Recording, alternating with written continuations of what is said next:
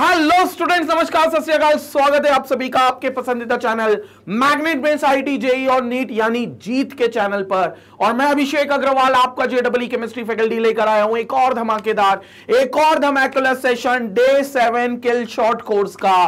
यानी कि जो 40 डेज का क्रैश कोर्स है जिसके दम पर हम आई जेई के पेपर में आग लगाने वाले हैं वो क्रैश कोर्स का डे सेवन का मैं टॉपिक लेकर आया हूं जो है थर्मो जो है थर्मो केमिस्ट्री याद करो लास्ट डे सिक्स में हमने जो पढ़ा है टॉपिक वो था थर्मोडाइनमिक्स अब थर्मोडाइनमिक्स की अगर हम बात करते हैं तो बेसिकली थर्मोडाइनमिक्स फिजिक्स और केमिस्ट्री दोनों का चैप्टर होता है एंड अगर मैं बात करूं प्रिसाइसली एक सब्जेक्ट में तो फिजिक्स की तरफ थोड़ा ज्यादा ओरिएंटेड है क्योंकि उसमें एंथेल्पी एंट्रोपी ये सब फिजिक्स ओरिएंटेड चीजें हैं जो केमिस्ट्री में भी जरूरी होती है लेकिन उस चैप्टर को केमिस्ट्री से कनेक्ट करने में यह चैप्टर बहुत इंपॉर्टेंट भूमिका निभाता है मतलब थर्मोडाइनमिक्स के प्रिंसिपल थर्मोडाइनमिक्स के लॉज केमिकल रिएक्शन पर हम कैसे लागू कर सकते हैं केमिकल रिएक्शन पर कैसे अप्लाई कर सकते हैं उसके लिए यह चैप्टर बहुत इंपॉर्टेंट रोल निभाता है जिसका नाम है थर्मोकेमिस्ट्री और आज हम डे सेवन में यही थर्मोकेमिस्ट्री पढ़ेंगे जिसको हम केमिकल थर्मोडाइनमिक्स के नाम से भी बोलते हैं या केमिकल एनर्जेटिक्स के नाम से भी बोलते हैं कई बुक्स में ये चैप्टर केमिकल एनर्जेटिक्स के नाम से है और पहले इसकी समरी यानी कि इसके कंसेप्ट को हम क्विकली देखेंगे बोले तो क्विक कंसेप्ट देखेंगे followed by most important question and then followed by previous year question जैसा अपना पैटर्न चल रहा है संपट बढ़ गई क्या बात तो थर्मोकेमिस्ट्री स्टार्ट करते हैं और सीधा अपन सबसे पहले कंसेप्ट पर आते हैं थर्मोकेमिस्ट्री बेसिकली क्या है it's a branch of chemistry which deals with the energy exchange between chemical system and its surrounding ये क्या है basically it's a branch of chemistry जो डील करता है केमिकल सिस्टम को और उसके सराउंडिंग को मतलब उसमें होने वाले हीट चेंज को और उसके सराउंडिंग को सिस्टम और सराउंडिंग को लेकिन इस बार सिस्टम कोई कंटेनर नहीं होगा जिसमें अपन ने पानी भरा और अपन हीट दे रहे हैं थर्मोडाइनमिक्स में तो अपन ने हमेशा सिस्टम क्या लिया एक कंटेनर जिसमें पानी है इसको हीट कर रहे हैं या एक कंटेनर इसमें गैस है उसको हीट कर रहे हैं इस बार हमारे पास सिस्टम होगा केमिकल सिस्टम मतलब कोई केमिकल रिएक्शंस तो हम यहां पर केमिकल रिएक्शंस को लेकर चलने वाले हैं and heat is generally evolve और absorbed when a chemical reaction takes place और change in the state of matter vaporisation fusion phase transition occurs और हमें पता है केमिकल रिएक्शन में भी हीट चेंज होता है तो वहां पर भी हीट चेंज की वजह से कुछ इंपैक्ट की स्टडी हमें करनी पड़ेगी क्योंकि केमिकल रिएक्शन में जब रिएक्टेंट से प्रोडक्ट बनता है तो 100% हीट चेंज होता है हो सकता है हीट बढ़ जाए सिस्टम का केमिकल सिस्टम का या हो सकता है हीट उसमें से रिलीज हो जाए तो उसमें से उसकी हीट कम हो जाए लेकिन दोनों में हम यह कहेंगे कि इंपैक्ट पड़ेगा हीट का इंपैक्ट पड़ेगा या फिर अगर केमिकल रिएक्शन नहीं हो रही है सिंपल फिजिकल रिएक्शन हो रही है फेस चेंज हो रहा है ट्रांजिशन फेस चेंज हो रहा है सॉलिड है तो लिक्विड लिक्विड है तो गैस सॉलिड है तो गैस गैस है तो सॉलिड अगर ये फेस ट्रांजिशन हो रहे हैं तो भी हीट एनर्जी में बदलाव आएगा और भाई साहब जहां हीट एनर्जी में बदलाव आ गया वहां थर्मोडाइनमिक्स या थर्मोकेमिस्ट्री का रूल आ गया क्योंकि थर्मोडाइनमिक्स में हम पढ़कर ही आए कि it deals with the phenomena of effects occurring due to heat transfer तो जितने भी हीट ट्रांसफर की वजह से प्रभाव आते हैं इंपैक्ट पड़ते हैं वो हम थर्मोडाइनमिक्स या थर्मोकेमिस्ट्री में पढ़ते हैं कंसेप्ट क्लियर हो गया थर्मोडाइनमिक्स और थर्मोकेमिस्ट्री अब वही चीज केमिकल रिएक्शन में होगी तो थर्मोकेमिस्ट्री इन जनरल हो तो थर्मोडाइनमिक्स अब Thermochemistry focuses on these energy changes, particularly on the system's energy exchange with its surrounding. The heat change accompanying chemical reactions or physical changes are measured experimentally with the help of calorimeter. और chemical reaction में जो heat change होंगे उस chemical system में या उसके surrounding में it can be measured by calorimeter तो उसको आप कैलोरी मीटर से मेजर करोगे एक कैलोरी मीटर एक डिवाइस होता है जिसको हम बॉम्ब कैलोरी मीटर भी बोलते हैं उसमें आप हीट चेंज के इंपैक्ट की स्टडी करोगे कितना हीट एब्जॉर्ब हुआ या कितना गेंड हुआ सिस्टम ने केमिकल सिस्टम ने कितना गेन करा या सराउंडिंग ने कितना एब्जॉर्ब किया ये सारी चीजें आप कैलोरी मीटर से कैलकुलेट करते हो इसकी वर्किंग भी हम समझेंगे chemical reactions are invariably associated with transfer of energy and most frequently energy transfer in chemical reactions takes place in the form of heat chemical reactions generally किसके साथ में होती है एनर्जी ट्रांसफर के साथ में मतलब केमिकल अगर रिएक्शन हो रही है तो वहां एनर्जी ट्रांसफर होगी एंड एनर्जी भी कौन से फॉर्म में हीट के फॉर्म में तो हीट एनर्जी के फॉर्म में एनर्जी ट्रांसफर होगी इसलिए यह चैप्टर बहुत इंपॉर्टेंट हो जाता है क्योंकि केमिकल रिएक्शन में भी हीट ट्रांसफर होता है जिसके इंपैक्ट को जिसके इफेक्ट को यह चैप्टर में हमें स्टडी करना होगा अब बात कर लेते हैं कौन कौन सी रिएक्शन हो सकती है on the basis of heat transfer तो दो टाइप की रिएक्शन होगी एक होगी एंडोथर्मिक एक होगी एक्सोथर्मिक बेसिक चीज है बचपन में भी बड़ी है वो रिएक्शन जो हीट एब्जॉर्ब करके प्रोसीड करे वो बोले भाई मुझे हीट दो तभी मैं प्रोडक्ट बनाऊंगी तो ऐसी रिएक्शन को एंडोथर्मिक कहते हैं वो रिएक्शन जो हीट रिलीज करे प्रोडक्ट बनाने के दौरान वो बोले हम प्रोडक्ट बनाएंगे लेकिन हीट रिलीज करेंगे ऐसी रिएक्शन को हम एक्सोथर्मिक कहते हैं so exothermic means reaction transfer heat to the surrounding chemical system से सराउंडिंग में हीट चली जाए तो एक्सोथर्मिक जैसे एल्यूमिनियम ओ के साथ एल बना रहा है और ये हीट दे रहा है delta H delta H will be negative क्यों क्योंकि सिस्टम की फाइनल हीट कम होगी इनिशियल हीट ज्यादा होगी क्योंकि उसने हीट निकाल दी तो हीट निकाल दी तो सिस्टम की हीट कम होगी तो सिस्टम की हीट कम होगी तो change in heat will be negative endothermic अगर सिस्टम हीट ले ले केमिकल सिस्टम केमिकल सिस्टम मतलब केमिकल रिएक्शन तो reaction transfer heat from the surrounding और कहां से हीट लेगा सराउंडिंग से तो सराउंडिंग से केमिकल सिस्टम में हीट आ जाएगी तो एग्जांपल है N two plus O two give two NO delta H will be equal to plus ninety point four kilo joules plus क्यों आ रही है क्योंकि केमिकल सिस्टम की हीट बढ़ रही है क्योंकि सराउंडिंग से सिस्टम को हीट मिल रही है तो भाई साहब फाइनल हीट सिस्टम की ज्यादा होगी as compare to initial heat final minus initial करोगे आपको पॉजिटिव मिलेगा तो ये दो तरीके की हीट होती है जो एक्सोथर्मिक और एंडोथर्मिक होती है नाउ वी हैव हीट और enthalpy of reaction Enthalpy of reaction, it is the amount of heat absorbed or evolved at constant pressure when the quantities of substance is indicated by thermochemical equation have completely reacted. तो total heat क्या होगी heat या enthalpy of reaction अगर कोई reaction आपको दिखाई जा रही है जिसमें रिएक्टेंट से प्रोडक्ट में कन्वर्जन हो रहा है तो उस दौरान whatever is the total heat change will be called as enthalpy of that reaction अब कहने को तो हमने सिर्फ इतना जाना है कि अभी हीट रिलीज होगी तो एक्सोथर्मिक हीट गेन होगी तो एंडोथर्मिक लेकिन ये हीट अगर गेन होती है तो कोई एक पॉइंट पर गेन नहीं होगी एक रिएक्शन में वो एक पॉइंट पर गेन नहीं होगी हो सकता है वो दो तीन स्टेप्स में गेन हो या अगर रिलीज हो रही है तो एक स्टेप में रिलीज नहीं होगी हो सकता है वो दो तीन स्टेप में रिलीज रिलीज होगी तो उस दौरान जो टोटल हीट होगा that will be called as enthalpy of reaction उसमें पूरी thermochemical equation must have completely reacted तो जो heat change net heat change आएगा that will be called as its enthalpy of reaction तो अपन उसको एंथेल्पी ऑफ रिएक्शन कह देंगे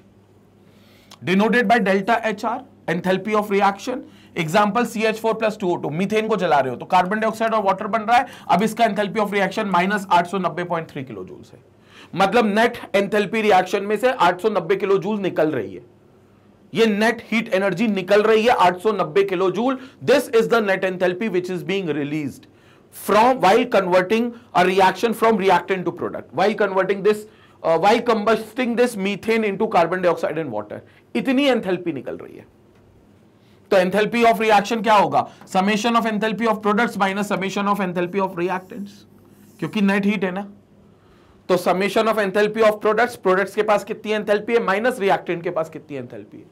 ये आपको देगा हीट चेंज एंथेल्पी चेंज और अगर प्रोडक्ट के पास ज्यादा है प्रोडक्ट के पास ज्यादा है रिएक्टेंट के पास कम है तो मतलब डेल्टा एच पॉजिटिव आएगा प्रोडक्ट के पास कम है और रिएक्टेंट के पास पहले ज्यादा थी तो डेल्टा एच नेगेटिव आएगा क्योंकि रिएक्टेंट के पास पहले ज्यादा थी प्रोडक्ट के पास कम है इसका मतलब हीट निकल गई हीट रिलीज हुई एक्सोथर्मिक हुआ तो delta H will be negative negative है इसमें क्लियर हो गया तो this is enthalpy of reaction अब स्टैंडर्ड एंथेल्पी ऑफ रिएक्शन क्या होगी अगर वही एंथेल्पी किसी रिएक्शन की आपने एसटीपी कंडीशन पे निकाली है एसटीपी कंडीशन मतलब 180 ATM pressure 273 seventy Kelvin temperature standard condition क्योंकि रिएक्शन की एंथेल्पी भी टेम्परेचर पे डिपेंडेंट होती है एक टेम्परेचर पे एक रिएक्शन कुछ अलग एंथेल्पी निकालेगी दूसरे किसी टेम्परेचर पे वही रिएक्शन कोई अलग एंथेल्पी ऑफ रिएक्शन दिखाएगी तो फिर हम कौन सी एंथेल्पी ऑफ रिएक्शन लेंगे तो हम लेते हैं स्टैंडर्ड एंथेल्पी ऑफ रिएक्शन यानी कि वो एंथेल्पी जो एसटीपी कंडीशन पे निकाली गई है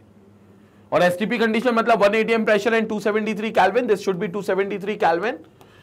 and it is denoted as delta R H not बस अंतर इतना है कि हम नॉट लगा देते हैं डेल्टा आर एच नॉट वैसे delta R H simple enthalpy होती है अगर नॉट लगा दोगे तो एसटीपी वाली हो जाएगी डेल्टा आर एच नॉट मतलब एसटीपी वाली so if delta H products is equal to H of reactants then delta H is equal to zero अगर कोई एंथैल्पी चेंज नहीं हो रहा है मतलब एंथैल्पी ऑफ प्रोडक्ट और एंथैल्पी ऑफ रिएक्टेंट सेम है अगर कोई भी एंथैल्पी चेंज नहीं हो रहा है तो एंथैल्पी ऑफ प्रोडक्ट और एंथैल्पी ऑफ रिएक्टेंट सेम है तो डेल्टा एच की वैल्यू जीरो आएगी अगर प्रोडक्ट की ज्यादा है और रिएक्टेंट की कम है प्रोडक्ट की ज्यादा है और रिएक्टेंट की कम है मतलब एनर्जी एब्जॉर्ब करी है हंड्रेड परसेंट एंडोथर्मिक और अगर प्रोडक्ट की कम है एनर्जी रिएक्टेंट की ज्यादा है प्रोडक्ट की एनर्जी कम है और रिएक्टेंट की ज्यादा है मतलब रिएक्टेंट से प्रोडक्ट कन्वर्ट करते वक्त एनर्जी निकल गई है रिलीज हो गई है तो इसका मतलब दैट इज एक्सोथर्मिक तो इट विल बी एक्सोथर्मिक तो ये रिएक्शन की एंथेल्पी होती है और depending on the delta H sign हम बता कर, सक, हम पता कर सकते हैं कि रिएक्शन एंडोथर्मिक है या एक्सोथर्मिक है now what are the various factors on which the enthalpy of reaction depends enthalpy of reaction किन किन फैक्टर्स से चेंज हो सकती है किन किन फैक्टर्स पे डिपेंड करती है पहला physical state of reactant and product reactant की फिजिकल स्टेट क्या है और प्रोडक्ट की फिजिकल स्टेट क्या है इस पर डिपेंड करता है allotropic forms of elements involve कैसे डिपेंड करेगा एक एक करके चर्चा करेंगे क्योंकि हर जगह एंथेल्पी ऑफ रिएक्शन काम आएगी तो पहला फिजिकल स्टेट के ऊपर डिपेंड करेगा कि किस फिजिकल स्टेट में आप रिएक्शन करवा रहे हो उस पर एंथैल्पी ऑफ रिएक्शन डिपेंड करेगी सेकेंड एलोट्रॉपिक फॉर्म अगर कोई आप एलिमेंटल रिएक्शन करा रहे हो तो उस एलिमेंट के एलोट्रोपिक फॉर्म में अगर रिएक्शन करा रहे हो तो अलग एंथेल्पी ऑफ रिएक्शन होगी तो अलग अलग एलोट्रोपिक जैसे कार्बन है अब कार्बन की तुम रिएक्शन करा रहे हो तो कार्बन का ग्रेफाइट से रिएक्शन करा रहे हो या कोक से रिएक्शन करा रहे हो दोनों दोनों एलोट्रोप है कोक और ग्रेफाइट डायमंड भी है तो इनमें से जिसके साथ भी आप कराओगे हर बार आपको एंथेल्पी ऑफ रिएक्शन अलग निकलेगी कोक के साथ कराओगे अलग निकलेगी ग्रेफाइट के साथ कराओगे अलग एंथेल्पी ऑफ रिएक्शन निकलेगी तो एलोट्रॉपिक फॉर्म्स पे भी डिपेंड करती है chemical composition state of reactants and products chemical composition state of reactants and products यानी कि केमिकली रिएक्टेंट और प्रोडक्ट है क्या मतलब केमिकल के नेचर पे भी डिपेंड करेगा आपका enthalpy of reaction amount of reactant कितना रिएक्टेंट आपने लिया है उस पर भी एंथैल्पी ऑफ रिएक्टेंट डिपेंड करेगा क्योंकि हमने बात करी थी कि enthalpy of reactant amount of substance पर डिपेंड करते हैं ये कैसी प्रॉपर्टी जो अमाउंट पे डिपेंड करती है तो रिएक्टेंट कितनी क्वांटिटी में आपने ले रखा है प्रोडक्ट को बनाने के लिए उस पर भी एंथैल्पी ऑफ रिएक्शन डिपेंड करेगा टेम्परेचर पे करेगा और रिएक्शन कंडीशंस पे करेगा टेम्परेचर पे भी करेगा और रिएक्शन की कंडीशन पे भी करेगा मतलब किस कंडीशन में वो रिएक्शन कराई जा रही है इन सब पे एंथेल्पी ऑफ रिएक्शन डिपेंड करेगा and based on these factors there are different types of enthalpy of reaction एक टाइप की नहीं होती मैंने आपको कहा था ना कि एक बार में कोई एनर्जी नहीं निकलेगी या एक बार में कोई एनर्जी नहीं आएगी depending on the reaction condition depending on the condition in which reaction is carried out depending on the nature of the chemicals there can be different types of enthalpy of reactions यहां पर अलग अलग type की enthalpy of reactions बिल्कुल हो सकते सबसे पहला स्टैंडर्ड एंथेल्पी ऑफ फॉर्मेशन अगर किसी चीज को फॉर्म कर रहे हो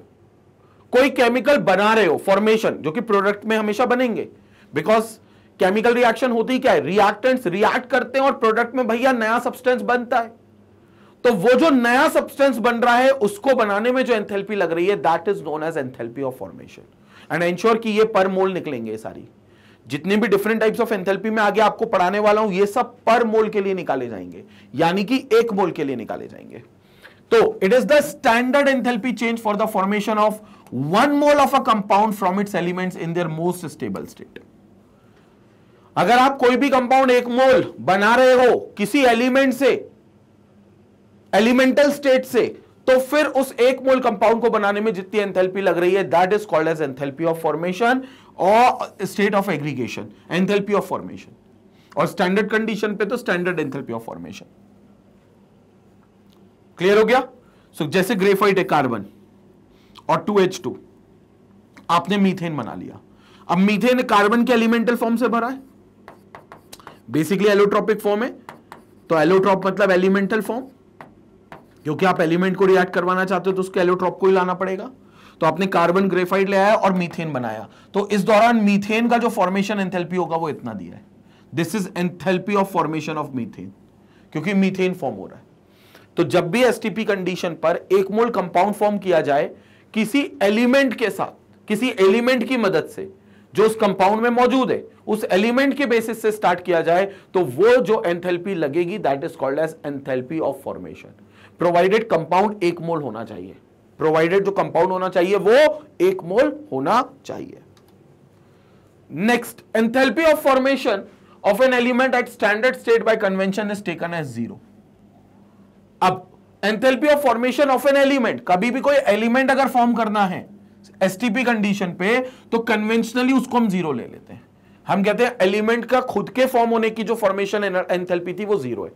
सो so दैट कि पर्टिकुलर न्यूमेरिकल सॉल्व करने में ये चीज आसान हो कि हमें सीधे कंपाउंड के एंथेल्पी ऑफ फॉर्मेशन पता चले क्यों क्योंकि कंपाउंड के एंथेल्पी ऑफ फॉर्मेशन कैसे पता चलेगी प्रोडक्ट की एंथेल्पी माइनस रिएक्टेंट की एंथेल्पी एक ही चीज है एंथेल्पी का formula summation of product enthalpy minus summation of reactant enthalpy अब प्रोडक्ट एंथेल्पी तो हमें मिल गई जो कंपाउंड को फॉर्म होने में लग रही है लेकिन एलिमेंट की एंथेल्पी हमें नहीं पता ना कि वो एलिमेंट का कहां से बनाए कैसे बनाए उसकी एंथेल्पी ऑफ फॉर्मेशन क्या है उस एलिमेंट की खुद की एंथेल्पी ऑफ फॉर्मेशन क्या है वो नहीं पता तो वो अपन जीरो ले लेते हैं so it is taken as zero it is taken as zero so enthalpy of formation of magnesium aluminium sodium H two O two etcetera is taken as zero तो किसी भी एलिमेंट की एंथेल्पी ऑफ फॉर्मेशन हम zero ले लेते हैं standard condition पे तो फिर जो भी एंथेल्पी वहां पर चेंज आएगा किसी भी कंपाउंड को बनाने में एक मोल कंपाउंड को बनाने में वो उस कंपाउंड की एंथेल्पी ऑफ फॉर्मेशन सीधा हो जाएगा क्योंकि प्रोडक्ट माइनस रिएक्टेंट में रिएक्टेंट की एंथेल्पी जीरो है क्योंकि एलिमेंट है रिएक्टेंट में जिसकी एंथेल्पी जीरो है तो जो भी एंथेल्पी चेंज आ रहा है वो एंथेल्पी ऑफ फॉर्मेशन माना जाएगा उस कंपाउंड का वो जो एक मोल में प्रेजेंट है क्लियर नेक्स्ट क्वेश्चन नेक्स्ट चीज पर देखते हैं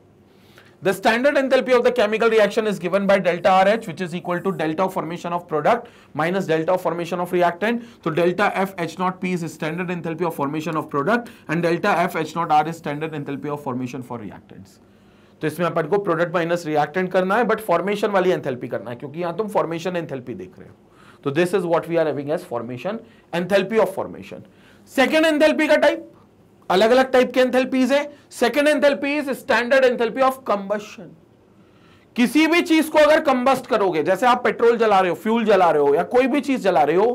तो उस कंबस्टन के दौरान जो एंथेल्पी चेंज आ रहा है एक मोल फ्यूल को जलाने पर एक मोल किसी भी सब्सटेंस को जलाने पर that is called as standard enthalpy of combustion delta H C से डिनोट करते हैं फॉर्मेशन डेल्टा एच एफ से होता है यह डेल्टा एच नॉट सी से होता है It is the standard enthalpy change per mole of a substance when it undergoes complete combustion. जब आप इसको कंप्लीटली कंबस्ट करोगे जैसे मीथेन को जला रहे हो जलाना मतलब ऑक्सीजन से रिएक्शन कराना तो दोनों चीजें ऑक्सीडाइज होंगी जो मीथेन में एलिमेंट है दोनों ऑक्सीडाइज होंगे कार्बन और हाइड्रोजन तो कार्बन डाइऑक्साइड और वाटर दोनों ऑक्सीडाइज हो गए अब देखो कंबशन एनर्जी इतनी निकल रही minus one nine two kilo joules पर मोल तो ये हमेशा कंबशन एनर्जी होगी and remember combustion energy will always be negative will always be negative why क्योंकि हमेशा कंबशन करने पर हीट निकलता है कभी कोई ऐसी चीज नहीं है कि कंबेशन करने पर उसको हीट देना पड़ेगा वो हमको हीट ना दे हम कंबशन करते इसलिए कि हमें हीट एनर्जी मिले जैसे हम फ्यूल जलाते हैं ताकि हीट मिले हम घर में एलपीजी सिलेंडर जलाते हैं मतलब उसके अंदर जो एलपीजी गैस है उसको जलाते हैं ताकि हीट मिले खाना पके तो कंबेशन से हमेशा हीट एनर्जी निकलता है इसलिए ये हमेशा नेगेटिव में होंगी क्योंकि ये हीट रिलीज करेंगी एक्जोथर्मिक होंगी next is enthalpy of neutralization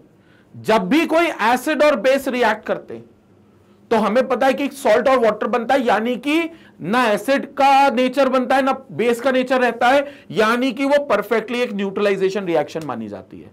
अगर एक स्ट्रॉन्ग एसिड और स्ट्रॉन्ग बेस की रिएक्शन हो रही है तो और ऐसी न्यूट्रलाइजेशन रिएक्शन में जो एंथेल्पी चेंज आता है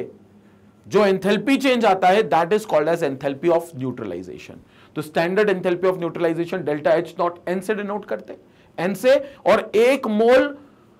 सब्सटेंस अगर न्यूट्रलाइज हो रहा है तो जो भी एंथेल्पी चेंज वो कर रहा है that is called as enthalpy of neutralization generally acid और बेस में देखने को मिलेगा so it is the amount of heat liberated when 1 gram equivalent of an acid is completely neutralized by 1 gram equivalent of a base 1 gram equivalent of an acid क्यों बोला क्योंकि अगर acid और बेस परफेक्टली न्यूट्रलाइज कर रहे हैं एक दूसरे को तो उनके आपस में ग्राम इक्विवेलेंट सेम होंगे और ये बात हमने केमिकल स्टीशियोमेट्री में भी पढ़ी है कि कोई भी रिएक्शन अगर हो रही है परफेक्टली मतलब पूरा उसका कंजम्पशन हो रहा है रिएक्टेंट दो लोग हैं ए और बी वो परफेक्टली रिएक्ट कर रहे हैं कंप्लीटली रिएक्ट कर रहे हैं ए और बी तो इसका मतलब है ए और बी के ग्राम इक्वेंट आपस में सेम होंगे मोल जरूरी नहीं है सेम हो या ना हो मास तो बिल्कुल जरूरी नहीं है कि सेम हो लेकिन ग्राम इक्वेंट जरूर सेम होंगे तो अगर हमें एक परफेक्ट एक कंप्लीट न्यूट्रलाइजेशन रिएक्शन चाहिए परफेक्ट मतलब कंप्लीट एक कंप्लीट न्यूट्रलाइजेशन रिएक्शन चाहिए तो हमें चाहिए कि एसिड और बेस के ग्राम इक्वलेंट सेम रिएक्ट करें और उस दौरान जो प्रोडक्ट बनेगा वो कंप्लीट न्यूट्रलाइजेशन रिएक्शन का प्रोडक्ट होगा और उस दौरान जो एंथेल्पी निकलेगी that is called as enthalpy of neutralization और चूंकि वो एसटीपी कंडीशन पे निकलेगी तो it will be known as standard enthalpy of neutralization तो वो स्टैंडर्ड एंथेल्पी ऑफ न्यूट्रलाइजेशन होगा delta H N is constant for strong acid and strong base तो डेल्टा एच एन हर एसिड स्ट्रॉन्ग एसिड और strong base का constant होता है minus thirty one thirteen point seven kilo calories पर mole और minus fifty seven point two seven kilo joules पर mole जैसे एच सी एल के लिए एन के लिए delta H N is equal to minus fifty seven point three kilo joules पर mole ये स्ट्रॉन्ग एसिड और स्ट्रॉन्ग बेस के लिए बिल्कुल कॉन्स्टेंट है it is always constant for strong acid and strong base For a weak acid against a strong base or a weak base, the numerical value of delta Hn is always less than 13.7 kilocalories due to the fact that here the heat is used up in the ionization of weak acid or weak base. अब जो strong acid और weak base का neutralisation है क्योंकि ultimately acid और base का neutralisation होगा हालांकि स्ट्रॉन्ग एसिड और वीक बेस या वीक एसिड स्ट्रॉन्ग बेस का न्यूट्रलाइजेशन कंप्लीट नहीं होगा लेकिन वो भी न्यूट्रलाइजेशन होगा लेकिन उस दौरान जो एंथेल्पी निकलेगी वो जो fix enthalpy constant minus thirteen point seven उतनी नहीं निकलेगी उससे कम निकलेगी क्यों क्योंकि कुछ एनर्जी वेस्ट हो जाएगी वीक एसिड और वीक बेस को आयोनाइज करने में तो जो वीक एसिड और वीक बेस है वो आसानी से आयोनाइज नहीं हो रहा है तो कुछ एनर्जी उनमें कंज्यूम्ड हो जाएगी तो फिर जो एनर्जी बचेगी वो रिलीज होगी जो कि 13.7 से कम होगी क्योंकि कंप्लीट न्यूट्रलाइजेशन पे इतनी एनर्जी फिक्स है स्ट्रॉन्ग एसिड और स्ट्रॉन्ग बेस की ये वैल्यू याद रखना पड़ेगा फिफ्टी बोल लो या थर्टीन किलो कैलोरी में बोल लो ये वैल्यू याद रखनी पड़ेगी ये एसिड स्ट्रॉन्ग एसिड और स्ट्रॉन्ग बेस के लिए फिक्स है वीक एसिड और वीक बेस के लिए फिक्स नहीं है वहां पर बस इतना पता है कि इस वैल्यू से कम वैल्यू होगी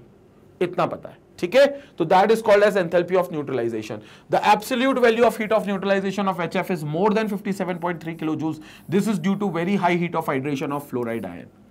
और एफ की एनर्जी जो एफ एसिड है हाइड्रोफ्लोरिक एसिड uh, जैसे एच होता है HBr होता है एच होता है वैसे HF भी होता है बट उसकी जो enthalpy of heat of neutralization है वो 57.3 किलो जूल से ज्यादा है क्योंकि इसके पास हाई हाइड्रेशन ऑफ एंथेल्पी है जो कि हाइड्रेट फ्लोराइड आयंस जब होंगे तब ज्यादा एनर्जी निकालेंगे तो वो एनर्जी भी इसमें इन्वॉल्व होगी और वो एनर्जी इन्वॉल्व होगी तो यह वैल्यू 57.3 किलो जूल से बड़ी वैल्यू आएगी तो एच में एक्सेप्शन है 57.3 किलो जूल से बड़ी वैल्यू आती है क्या करने पर न्यूट्रलाइज करने पर क्योंकि जहां वह जब न्यूट्रलाइज करेगा तो फ्लोराइड आयन बनेंगे और फ्लोराइड आयन बनेंगे तो वो वाटर मॉलिक्यूल्स को भी एब्जॉर्ब करेंगे तो वहां पर वो एक अलग एनर्जी निकालेंगे जो उसमें ऐड हो जाएगी तो 57.3 से किलो जूल से ज्यादा एनर्जी आपको वहां पर मिलेगी fourth energy standard enthalpy of atomization जब भी कोई मॉलिक्यूल को आप एटम में ब्रेक कर रहे हो जब भी कोई कंपाउंड को आप उसके जो कॉन्स्टिट्यूएंट एटम से उसमें ब्रेक कर रहे हो तो उस दौरान जो एंथैल्पी चेंज होगा स्टैंडर्ड कंडीशन पे वो स्टैंडर्ड एंथैल्पी ऑफ एटमाइजेशन होगा जिसको डेल्टा एच नॉट ए से डिनोट करेंगे ए से न्यूट्रलाइजेशन एन से करते थे या बे से करेंगे it is the enthalpy change on breaking one mole of bonds completely to obtain atoms in the gas phase आपको एटम बनाने इन द गैस फेज जैसे सपोज करो एक्स टू एक मोलिक्यूल है ये सी हो सकता है बी हो सकता है आई हो सकता है इस दौरान आप उसको हीट दोगे तो ये टू एक्स एटम में कन्वर्ट होगा जो कि गैशियस स्टेट में होंगे तो इस दौरान जो एंथेल्पी वो फॉर्मे एंथेल्पी ऑफ एटमाइजेशन आएगा वो delta H delta not H A आएगा this is called as enthalpy of atomization मतलब इस दौरान वो एटम बन गया है एटमाइजेशन हो गया तो it will be called as delta not H A In case of diatomic molecules, the enthalpy of atomization, bond dissociation enthalpy and bond enthalpy are same thing. अब इसको बॉन्ड एटमाइजेशन एंथैल्पी बोल लो या ये bond association energy बोल लो क्योंकि ultimately तुम x और x का बॉन्ड तोड़ने में एनर्जी लगा रहे हो तो वही एनर्जी से तो टू बनेगा तो यहां पर होगी बॉन्ड एसोसिएशन एनर्जी तो आप कह सकते हो कि डायटोमिक मॉलिक्यूल्स की बॉन्ड एसोसिएशन एनर्जी और एंथेल्पी ऑफ एटमाइजेशन सेम होता है बीडी e मतलब बॉन्ड एसोसिएशन एनर्जी क्योंकि डायटोमिक में तो आप एक ही बॉन्ड तोड़ रहे हो ना तो एक बॉन्ड तोड़ते ही एटम बन गए पॉलीएटॉमिक मॉलिक्यूल्स होंगे तो फिर अलग केस है फिर सबकी अलग अलग एंथेल्पी ऑफ एटमाइजेशन निकलेगा तो तब नहीं कह सकते कि ये they will be equal to bond association energy लेकिन जब डायटॉमिक है दो ही एटम है तो दो एटम को दो आ, मतलब एटम वाले मॉलिक्यूल को तोड़ने में एक बार में एटम बनेगा तो वो एंथेल्पी ऑफ एटमाइजेशन और एक बार तोड़ ही रहे हो तो मतलब वो बॉन्ड एसोसिएशन एनर्जी के भी बराबर हो गया क्योंकि आप एक बार में एक ही बॉन्ड तोड़ रहे हो तो that is called as bond association energy will be equal to enthalpy of atomization not sign से कंफ्यूज मत होना ये सारी वैल्यूज जो ले रखी है वो स्टैंडर्ड कंडीशन पे ले रखी है इसलिए स्टैंडर्ड वर्ड यूज किया गया है ठीक है नेक्स्ट इज लेटेस एंथेल्पी इसकी बात हमने केमिकल बॉन्डिंग में हालांकि कर ली थी आयोनिक बॉन्ड को बनाने में डेल्टा एच लेटेस बट एक बार और बता देते it is the enthalpy change which occurs when one mole of an ionic compound dissociates into ions in gaseous state जब एक मोल आयोनिक कंपाउंड अपने गैशियस स्टेट के आइटम्स में कन्वर्ट हो जाता है आयोनिक कंपाउंड याद रखना कौन सा कंपाउंड आयोनिक कंपाउंड जब अपने गैशियस स्टेट में कन्वर्ट हो जाता है तो जो एंथेल्पी चेंज वहां देखने को मिलता है that is called as lattice enthalpy जैसे एनएसीएल सॉलिड अब यह आयंस में कन्वर्ट हो गया एनए प्लस गैस और सीएल माइनस गैस तो यहां पर यहां पर एक्चुअली कोई बॉन्ड कोवेलेंट था नहीं जो टूटा यहां पर इनके बीच का इलेक्ट्रोस्टैटिक फोर्स ऑफ अट्रैक्शन खत्म कर दिया by supplying energy by supplying heat energy तो जो भी हीट एनर्जी यहां सप्लाई की गई that is called as delta H naught lattice enthalpy of lattice मतलब लैटिस एंथेल्पी लैटिस एंथेल्पी और एसटीपी कंडीशन पे निकालिए तो स्टैंडर्ड लैटिस एंथेल्पी तो this is called as lattice enthalpy याद रखना ये हमेशा आयोनिक बॉन्ड में होगा हमेशा तो जब भी आयोनिक बॉन्ड को आप डिसोसिएट करोगे उसके आयंस में इन गैशियस स्टेट तो जो एंथैल्पी चेंज आएगा that is called as lattice enthalpy दूसरी बात यही एंथैल्पी तब भी लगेगी तब निकलेगी जब आप दो आयंस को मिला रहे हो जैसे ए प्लस और सीएल माइनस को आप मिलाकर वापस से एल बना दो तो इतनी एंथैल्पी अब निकलेगी क्योंकि बॉन्ड तोड़ने के लिए एनर्जी देनी पड़ती है और जब बॉन्ड जुड़ते हैं तो वो एनर्जी वापस निकाल देते हैं तो इतनी एंथेल्पी निकलेगी तब भी इसको लेटेस एंथेल्पी कहेंगे क्योंकि तब ये आयोनिक क्रिस्टल का लेटेस बना रहे एनएसीएल लेटेस बन रहा है तो बस अंतर प्लस और माइनस का होगा क्लियर हो गया तो ये लेटेस एंथेल्पी हो गई this is what we called as lattice enthalpy next enthalpy of hydration जब किसी सब्सटेंस पर एक मोल सब्सटेंस पर वाटर मॉलिक्यूल एब्जॉर्ब हो जाए जैसे एनएसीएल आयंस में टूटता है तो एनए प्लस को क्या होता है वाटर घेर कर खड़े हो जाते हैं H2O, H2O, H2O, H2O, H2O ऐसे पानी घेर कर खड़े हो जाते हैं तो जब ये पानी घेर कर खड़े हो जाते हैं तो जैसी पानी इस पर एब्जॉर्ब होता है ये सर्टेन एक एनर्जी निकालता है सर्टेन अमाउंट की एक एनर्जी निकालता है जिसको हम हाइड्रेशन एनर्जी कहते हैं और चूंकि स्टैंडर्ड कंडीशन पे निकालेगा तो स्टैंडर्ड हाइड्रेशन एंथेल्पी कह देंगे standard hydration enthalpy enthalpy of hydration delta H H Y D hide hydration से बना है it is the enthalpy change when one mole of anhydrous और partially hydrated salt combines with required number of moles of water to form a specific hydrate so it combines with a required number of moles of water to form a specific hydrate with required number of moles of water to form a specific hydrate okay है hydrated salt banane ke liye jitna enthalpy nikal raha hai जब water molecule absorb होगा किसी anhydrous salt पे anhydrous मतलब without water सूखा salt या फिर partially hydrated salt पर तो उसके आयन जैसे ही वाटर मॉलिक्यूल को एब्सॉर्ब करेंगे जैसे NaCl में Na निकलेगा तो Na जैसे ही वाटर मॉलिक्यूल पर एब्सॉर्ब होंगे एक एंथैल्पी निकलेगी that is called hydration enthalpy तो एक मोल सॉल्ट होना चाहिए पहली बात तो एनहाइड्रस या पार्शियली हाइड्रेटेड कुछ भी चलेगा और जब वो वाटर मॉलिक्यूल को अपने ऊपर एब्सॉर्ब करेगा तो जो एंथैल्पी चेंज निकलेगा that is called as hydration enthalpy तो ये एंथैल्पी हो जाएगी हाइड्रेशन एंथैल्पी उसके बाद आती है स्टैंडर्ड एंथैल्पी ऑफ सॉल्यूशन जब भी कोई सॉल्यूशन बनेगा तो भी एंथैल्पी चेंज होता है और याद करो हमने सोल्यूशन नाम का एक चैप्टर था ट्वेल्थ में जिसमें हमने पढ़ा था कि भाई जब नॉन आइडल सोल्यूशन में हमने पढ़ा था कि जब कोई भी सोल्यूट और सॉल्वेंट मिलेगा सोल्यूशन बनाने के लिए तो एंथेल्पी चेंज होगा that will be called as enthalpy of solution so it is the standard enthalpy change when one mole of substance dissolved in a specified amount of solvent तो जब भी कोई solute specified amount of solvent में dissolved होगा बशर्ते solute जो dissolve हो रहा है वो एक मोल है तो this will going to give you enthalpy of hydration तो एंथेल्पी ऑफ सोल्यूशन सॉरी तो enthalpy of solution will be lattice enthalpy minus hydration enthalpy lattice बनाने में जो एंथेल्पी लगी और हाइड्रेट करते वक्त जो एंथेल्पी लगी उसको माइनस कर दोगे तो एक्जैक्टली exactly सोल्यूशन बनाते वक्त जो एंथेल्पी होगी वो आपकी निकल जाएगी तो integral heat of solution is the enthalpy change when one mole of solute is dissolved in a pure solvent to form a solution of desired concentration Different differential heat of solution is the enthalpy change when one mole of a solute is dissolved such a in such a large volume of solution so that no enthalpy change occurs on further dilution. Differential heat of solution aisa hoga ki jab aap solute ko large amount of volume of solvent में add करोगे तो जो enthalpy निकलेगी that is called as enthalpy change इसके बाद और dilution नहीं हो सकता तो वो फाइनल डाइल्यूशन होगा जो एक बार में होगा जिसमें बहुत ज्यादा amount of volume of solvent add होगा तो उसको हम कहेंगे डिफरेंशियल हीट ऑफ सोल्यूशन तो उसको हम कहेंगे डिफरेंशियल हीट ऑफ सोल्यूशन जब एंथेल्पी चेंज होगा when one mole of solute is dissolve in large amount of solvent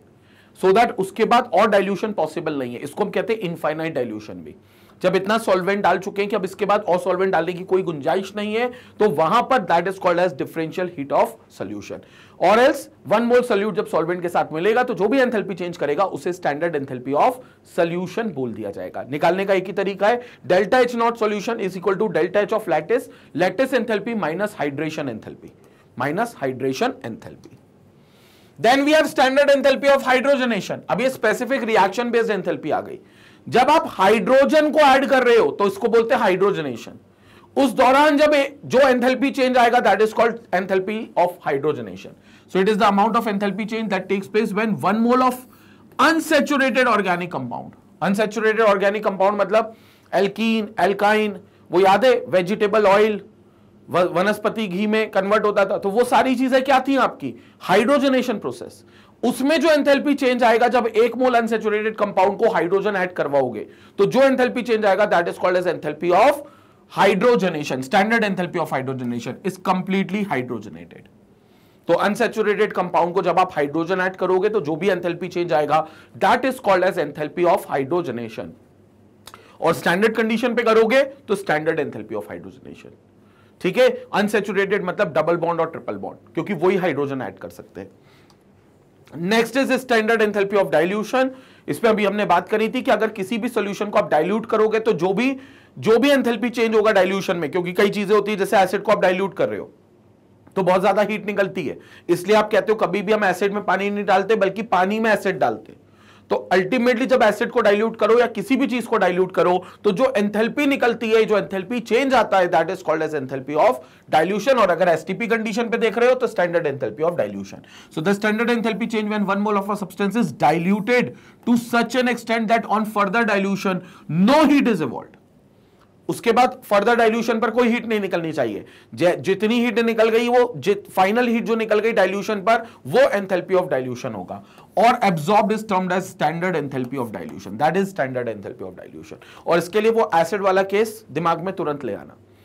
पानी में जब एसिड डालते हो तो हीट निकलती है और वो हीट जो निकलेगी that is called as enthalpy of dilution of an acid अब standard enthalpy of transition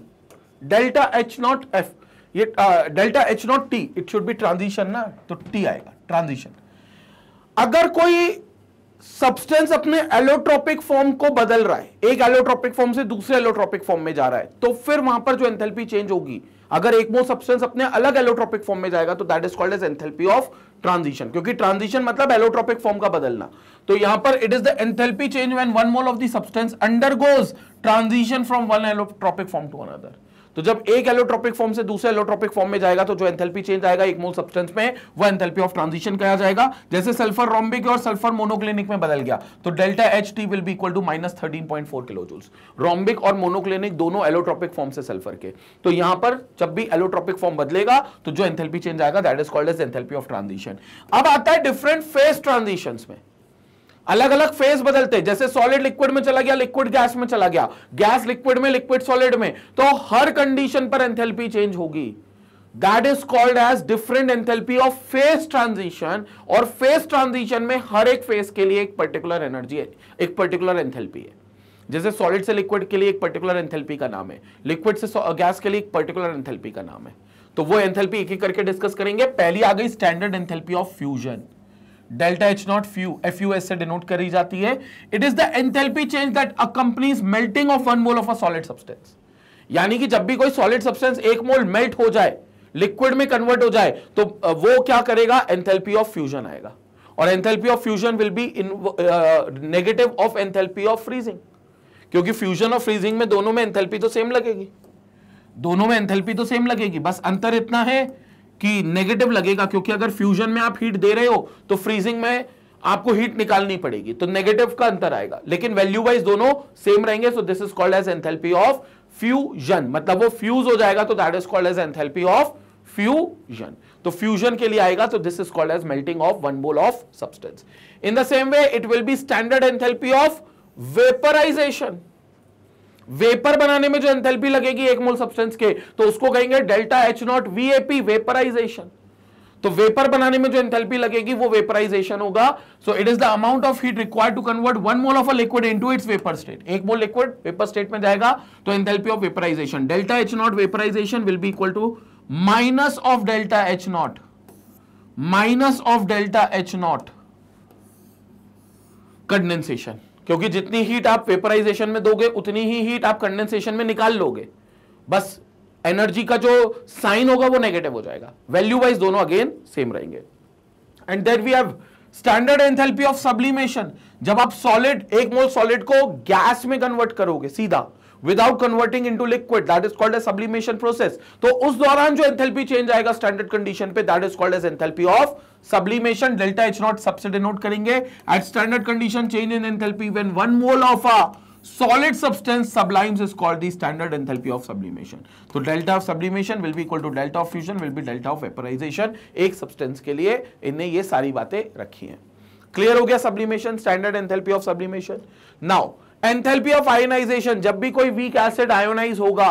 तो कुछ एंथैल्पी वहां पर भी चेंज देखने को मिलेगा उस सब्सटेंस को आयोनाइज करने में आयोनाइज करना मतलब डिसोसिएट करना उसको उसके आयंस में कन्वर्ट करना तो जब भी कोई एक mole substance that is the amount of enthalpy change that takes place when one mole of a covalent compound on dissolution in water splits to produce ions in the solution तो जब वो dissolve हो जाएगा यानी कि किसी भी कोई कोवेलेंट कंपाउंड पानी में जाकर अपने आप को आयंस में ब्रेक कर लेगा तो उस दौरान जो एंथेल्पी चेंज आएगी जब एक मोल वो कोवेलेंट कंपाउंड होगा तो वो एंथेल्पी चेंज को हम एंथेल्पी ऑफ आयोनाइजेशन कहेंगे जैसे C H three C O H acetic acid है इस C H three CO minus aqueous और एच प्लस में कन्वर्ट हो रहा है तो इस दौरान जो एंथेल्पी लग रही है या जो हमको देनी पड़ी सप्लाई करनी पड़ी है that is delta H ionisation which will be equal to minus fifty five point four three kilo joules per mole ये एंथेल्पी ऑफ आयोनाइजेशन होगी तो ये है डिफरेंट टाइप ऑफ एंथेल्पीज जो हर फेज में हर कंडीशन पर रिएक्शन किस नेचर का है रिएक्टेंट खुद किस नेचर के हैं इसके ऊपर अलग अलग एंथेल्पी है और लगभग लगभग ये सारी एंथेल्पी एंथेल्पी ऑफ रिएक्शन मानी जाएगी क्योंकि जितनी भी चीजें हमने पढ़ी वो रिएक्शन की एंथेल्पीज थी चाहे फिजिकल रिएक्शन की बात करो या केमिकल रिएक्शन की बात करो मुद्दा ये कि वो रिएक्शंस है मेनली तो वो रिएक्शंस की एंथेल्पी होंगी और यही एंथेल्पी ऑफ रिएक्शंस ओवरऑल सभी एंथेल्पी को माना जाएगा तो इंडिविजुअली वो रिएक्शन का क्या नेचर है रिएक्टेंट्स का क्या नेचर है उस हिसाब से अलग अलग एंथेल्पीज हमें देखने को मिलती है नाउ इसके बाद Hess's law of constant heat summation Hess's law बड़ा सिंपल है हैजिस लॉ ये कहता है कि अगर कोई रिएक्शन एक सिंगल स्टेप में हो तो उस दौरान जो एंथेल्पी चेंज आएगा और अगर उसी रिएक्शन को आपने अलग अलग स्टेप्स में कैरी आउट किया है तो इंडिविजुअल स्टेप्स में जो एंथेल्पी चेंज आएगा दोनों इंडिविजुअली सेम आएंगे मतलब दोनों दोनों स्टेप्स में एंथेल्पी टोटल सेम आएगी जैसे सपोज करो मैंने एक रिएक्शन ले ली ए से सीधा डी बनाया एंड सपोज करो यहां पर एंथेल्पी चेंज आ गया डेल्टा एच वन या delta H final delta H F ऐसा लिख लेते हैं और स्टैंडर्ड कंडीशन में निकाला तो डेल्टा नॉट अब मान लो ये रिएक्शन में एक स्टेप में नहीं करता ए से बी बनाता फिर बी से सी बनाता और फिर सी से डी बनाता ए से बी बनाने में मान लो एनर्जी लग गई डेल्टा एच वन बी से सी बनाने में एनर्जी लग गई डेल्टा एच टू और सी से डी बनाने में एनर्जी लग गई delta H three individual energy से लग गई तो अकॉर्डिंग टू हेजिस लॉ ये जो एंथेल्पी का सम है delta H one plus delta H two plus delta H three ये टोटल इस वाली एंथेल्पी के सम के बराबर होगा मतलब इससे कोई फर्क नहीं पड़ता कि रिएक्शन एक बार में करिए रिएक्शन एक बार में करिए या अलग अलग स्टेप में करिए टोटल हीट वो सेम निकलेगी अगर एक और तुम डी से डायरेक्ट ले जाते डायरेक्ट बनाना बना देते या फिर स्टेप में बना देते heat will remain the same ये हैजिस लॉ कहता है तो it is called as Hess's law of constant heat summation The enthalpy change in particular reaction is always constant and is independent of the path which, by which the reaction has taken place. किस रास्ते से reaction हुई है उस रास्ते पे वो depend नहीं करेगा नहीं करेगा तो ए बी से डेल्टा एच दे रहा है और मान लो ए सी से डेल्टा एच वन देता सी से डी डेल्टा एच टू देता और फिर डी से भी बनाता डेल्टा एच थ्री तो ये जो डेल्टा एच है ये delta H one plus delta H two plus delta H three के बराबर है तो रिएक्शन कितने स्टेप में जाए इंडिविजुअल स्टेप का हीट चेंज और डायरेक्ट जाए तो टोटल हीट चेंज ये दोनों इक्वल होंगे so in other word the total heat change that is delta H accompanying a chemical reaction is the same whether the reaction takes place in one step और in more step this is called as Hess's law तो ये हैसेस law है scientist का नाम था उनके base पर यह लॉ आया है तो this is according to Hess's law ये हैजिस लॉ है this is Hess's law of heat summation ये लॉ है now some application of Hess's law Hess's law से हम बहुत सारी हीट निकाल सकते हैं बहुत अलग अलग टाइप की कहना चाहिए एंथेल्पी निकाल सकते हैं कैलकुलेट कर सकते हैं हीट ऑफ फॉर्मेशन हम डिटरमाइन कर सकते हैं हीट ऑफ ट्रांजिशन हम डिटरमाइन कर सकते हैं बॉन्ड एंथेल्पी हम डिटरमाइन कर सकते हैं रेजोनेंस एनर्जी हम डिटरमाइन कर सकते हैं और रेजोनेंस एनर्जी क्या होती है experimental heat of formation minus calculated heat of formation और रेजोनेंस एनर्जी क्या होती है जब कोई एक मॉलिक्यूल अपने डिफरेंट रेजोनेंस बना लेता है तो उस दौरान भी वो एंथेल्पी चेंज करता है तो डिफरेंट रेजोनेटिंग स्ट्रक्चर्स के दौरान जो एंथेल्पी चेंज करेगा that is called as resonance energy वो रेजोनेंस एनर्जी भी हैसेस लॉ से निकल सकती है वो रेजोनेंस एनर्जी भी हैस लॉ से निकल सकती है और उसका कैलकुलेशन होता है एक्सपेरिमेंटल हीट ऑफ फॉर्मेशन जो आपको हीट ऑफ फॉर्मेशन एक्सपेरिमेंटली मिल रहा है माइनस जो आपने कैलकुलेटिवली सोचा था कि इतनी हीट ऑफ फॉर्मेशन आएगा यहां पर रेजोनेंस के केस में दोनों अलग अलग आएंगे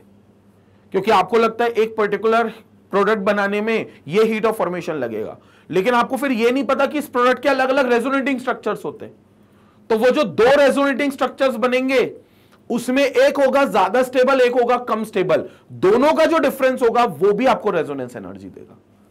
जो इस वैल्यू से भी निकाल सकते हो एक्सपेरिमेंटली जितना लग रहा है आपका और कैलकुलेशन के हिसाब से जितना फॉर्मेशन लग रहा था दोनों को माइनस करोगे you will get resonance energy and resonance energy भी आप हैस लॉ से निकाल सकते हो आप निकाल सकते हो नेक्स्ट इज बॉन्ड एनर्जी और एंथेल्पी किसी भी बॉन्ड को तोड़ने के लिए जो एनर्जी देंगे वो बॉन्ड एसोसिएशन एनर्जी होगा same amount of energy release होगा जब बॉन्ड बनेगा तो बॉन्ड एनर्जी और बॉन्ड एंथेल्पी इसे कहेंगे जब एक मोल बॉन्ड्स आपके बनेंगे या टूटेंगे so when a bond is form between two atoms in gaseous state To form a molecule, some heat is always evolved, which is called as bond energy or bond formation energy. तो इसको bond energy और bond formation energy कहेंगे then there is bond association energy same amount की energy देनी पड़ेगी अगर वही bond तोड़ना है तो मान लो ए और बी है उनने बॉन्ड बनाया एक एनर्जी दे दी वो बॉन्ड एनर्जी या बॉन्ड फॉर्मेशन एनर्जी अब उतनी एनर्जी तुम उस बॉन्ड को वापस दे दो तो ए और बी के बीच का बॉन्ड टूट जाएगा अब वो वही एनर्जी की वैल्यू कहलाएगी बॉन्ड डिसोसिएशन एनर्जी तो बस अंतर कितना एक बार मिली एक बार देनी पड़ी प्लस और माइनस का चार्ज है ये प्लस और माइनस के चार्ज का डिफरेंस है तो bond dissociation energy is the amount of energy required to break और dissociate bond of particular type present in one molecule of the compound so present in one molecule of the compound तो जो energy आप दोगे bond को तोड़ने के लिए that will be called as its bond dissociation energy that energy is called as its bond dissociation energy तो ये बॉन्ड डिसोसिएशन एनर्जी हो गई now bond energy is taken as the average value of dissociation average value of dissociation energies of same type of bonds present in one molecule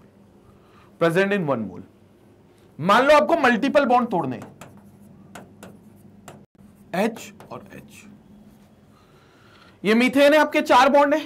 अब आपको पहले क्या लगता है कि आपको एक एक साथ चारों बॉन्ड तोड़ दोगे नहीं आपको एक एक करके बॉन्ड तोड़ने पड़ेंगे और भले सारे बॉन्ड कार्बन हाइड्रोजन के तोड़ोगे carbon hydrogen carbon hydrogen carbon hydrogen carbon hydrogen लेकिन फिर भी हर बार बॉन्ड एनर्जी अलग देनी पड़ेगी क्योंकि जब पहला बॉन्ड तोड़ोगे तो मॉलिक्यूल में कुछ स्टेबिलिटी अनस्टेबिलिटी आएगी चेंज होगी तो फिर अगला कार्बन हाइड्रोजन बॉन्ड तोड़ने में आपको अलग एनर्जी देनी पड़ेगी फिर तीसरा कार्बन हाइड्रोजन बॉन्ड तोड़ने में अलग एनर्जी देनी पड़ेगी फिर चौथा कार्बन हाइड्रोजन तोड़ने में अलग एनर्जी देनी पड़ेगी तो अब आपको इस खेल में क्या करना पड़ेगा इस खेल में आपको इसकी मल्टीपल बॉन्ड के केस में आपको एवरेज बॉन्ड एनर्जी निकालनी होगी क्या निकालनी होगी average average bond energy average bond energy कैसे निकलेगी total bond energy total bond dissociation तोड़ने में जितनी एनर्जी लगी और कितने बॉन्ड तोड़े आपने चार तो चार अपॉन टोटल बॉन्ड्स जितने आपने तोड़े तो total bond energy upon total bonds ये आ गया आपका So since a chemical reaction involves the breaking of old bonds in reactants and formation of new bonds in products, a chemical reaction होती क्या है पुराने bond तोड़ो नए bond जोड़ो The enthalpy change of a reaction will be sum of bond energy of reactants minus sum of bond energy of products. तोड़ने के लिए आपको energy देनी पड़ेगी बॉन्ड बनने वक्त एनर्जी आपको मिलेगी तो उसका जो चेंज आएगा that is called as enthalpy of reaction तो वो एक रिएक्शन की एंथेल्पी आप इस तरीके से भी कैलकुलेट कर सकते हो ये भी आपका एंथेल्पी ऑफ रिएक्शन देगा ठीक है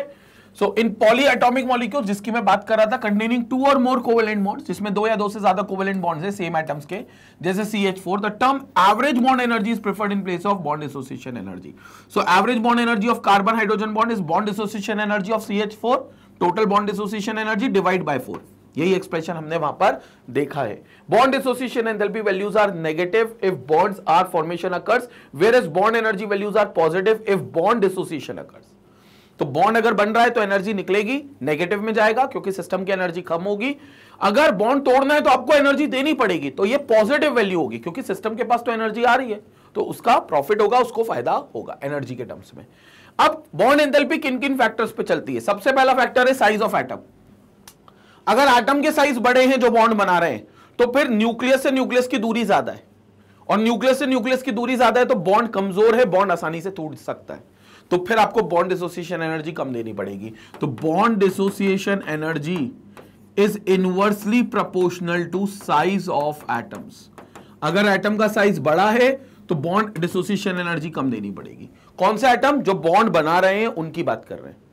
तो जब बॉन्ड बनाने वाले एटम्स का साइज बड़ा होगा तो उनको तोड़ना आसान होगा तो बॉन्ड एसोसिएशन एनर्जी कम देनी पड़ेगी कम एनर्जी पे ही टूट जाएंगे छोटे छोटे बॉन्ड्स होंगे तो दोनों का न्यूक्लियस पास है तो बॉन्ड की स्ट्रेंथ जो उनके बीच में बन रहा है वो ज्यादा है तो आपको उसको तोड़ने में ज्यादा मेहनत लगानी पड़ेगी मतलब ज्यादा एनर्जी देनी पड़ेगी तो छोटे साइज के एटम्स में बॉन्ड एसोसिएशन एनर्जी ज्यादा होगी so smaller the size of atom more closer the atoms of each other during bond energy hence larger is the bond enthalpy example order of bond enthalpy of halogen fluorine में सबसे ज्यादा फिर उससे कम chlorine में उससे कम bromine में और सबसे कम आयोडीन में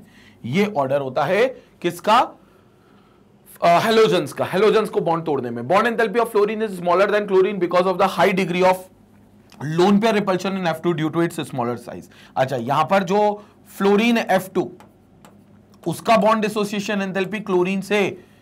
क्लोरीन से कम है क्लोरीन को ज्यादा देना पड़ेगा जबकि फ्लोरीन को देना चाहिए क्योंकि फ्लोरीन का स्मॉल साइज आइटम है लेकिन फ्लोरीन के साथ यहां पर इलेक्ट्रॉन डेंसिटी बहुत ज्यादा है तो फ्लोरीन की इलेक्ट्रॉन डेंसिटी होने के कारण ये एक दूसरे को रिपेल करते हैं फ्लोरीन फ्लोरीन को रिपेल करता है तो जब फ्लोरीन फ्लोरीन को रिपेल करेगा तो यहां पर बॉन्ड थोड़ा सा कमजोर हो जाएगा as compare to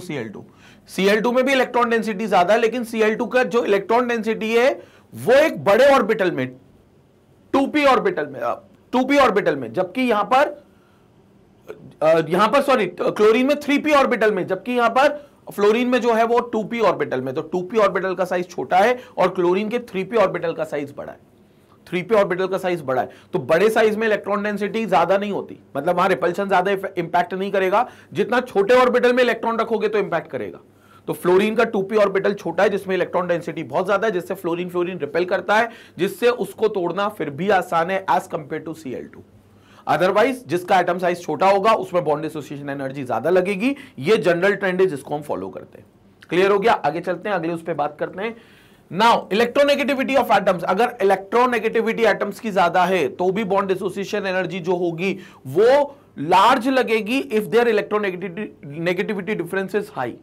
अगर दो आइटम है जिनके बीच में इलेक्ट्रोनेगेटिविटी का डिफरेंस ज्यादा है तो फिर आपको ज्यादा बॉन्ड तोड़ने में मेहनत मतलब आपको बॉन्ड तोड़ने में ज्यादा मेहनत लगेगी बॉन्ड एसोसिएशन एनर्जी ज्यादा होगी so larger the electronegativity difference between two items more is the polarity in bond and thus more is the bond strength as well as bond enthalpy तो अगर आपको मान लेकर चलो फ्लोरीन और हाइड्रोजन का बॉन्ड तोड़ना है तो यहाँ इलेक्ट्रोनेगेटिविटी डिफरेंस बहुत ज्यादा है तो इसमें सबसे ज्यादा बॉन्ड एनर्जी लगेगी ऑक्सीजन हाइड्रोजन में इलेक्ट्रोनेगेटिविटी डिफरेंस भी ज्यादा है लेकिन इससे ज्यादा नहीं है फ्लोरीन से ज्यादा नहीं है क्योंकि ऑक्सीजन उतना इलेक्ट्रोनेगेटिव नहीं है तो यहां पर भी एनर्जी ज्यादा लगेगी बट इससे ज्यादा नहीं लगेगी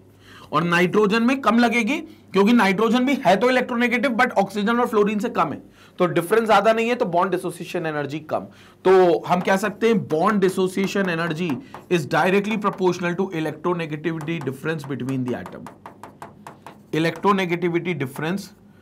between the atoms अगर एटम के बीच में इलेक्ट्रोनेगेटिविटी डिफरेंस ज्यादा है तो आपको बॉन्ड एसोसिएशन एनर्जी ज्यादा देनी पड़ेगी क्योंकि फिर पोलैरिटी ज्यादा आएगी जिससे बॉन्ड स्ट्रेंथ मजबूत होगा अगला फैक्टर जिसपे बॉन्ड एसोसिएशन एनर्जी चलता है बॉन्ड लेंथ पर अगर बॉन्ड का लेंथ छोटा है छोटा कब होगा जब दोनों आइटम जो बॉन्ड बना रहे हैं वो पास है पास कब होंगे जब साइज छोटा है तो बॉन्ड मजबूत है आपको तोड़ने में ज्यादा एनर्जी देनी पड़ेगी लेकिन अगर बॉन्ड का लेंथ बड़ा है दो एटम के बीच में दूरी ज्यादा है तो दूरी ज्यादा कब होगी जब एटम का साइज बड़ा होगा तो फिर उस बॉन्ड को तोड़ना आसान है यानी कि बॉन्ड एसोसिएशन एनर्जी कम होगी तो यहां पर सिंपल सी बात है बॉन्ड लेंथ से bond association energy inversely proportional है मतलब बॉन्ड लेंथ ज्यादा तो बॉन्ड एसोसिएशन एनर्जी कम देनी पड़ेगी अगर बॉन्ड लेंथ कम है तो बॉन्ड एसोसिएशन एनर्जी आपको ज्यादा देनी पड़ेगी और ये साइज ऑफ द एटम से ही हम एट्रीब्यूट कर सकते हैं next is number of bonding electrons कितने बॉन्ड बन रहे हैं दो एटम के बीच में एक बॉन्ड को तोड़ना जाहिर सी बात है आसान है लेकिन अगर डबल बॉन्ड बन रहा है तो फिर तोड़ना थोड़ा मुश्किल है उसमें बॉन्ड एसोसिएशन एनर्जी ज्यादा लगेगी ट्रिपल बॉन्ड को तोड़ना और मुश्किल है उसमें बॉन्ड एसोसिएशन एनर्जी ज्यादा लगेगी और ज्यादा लगेगी तो मतलब जितने इलेक्ट्रॉन्स बॉन्ड बना रहे हैं उस पर भी निर्भर करेगी bond association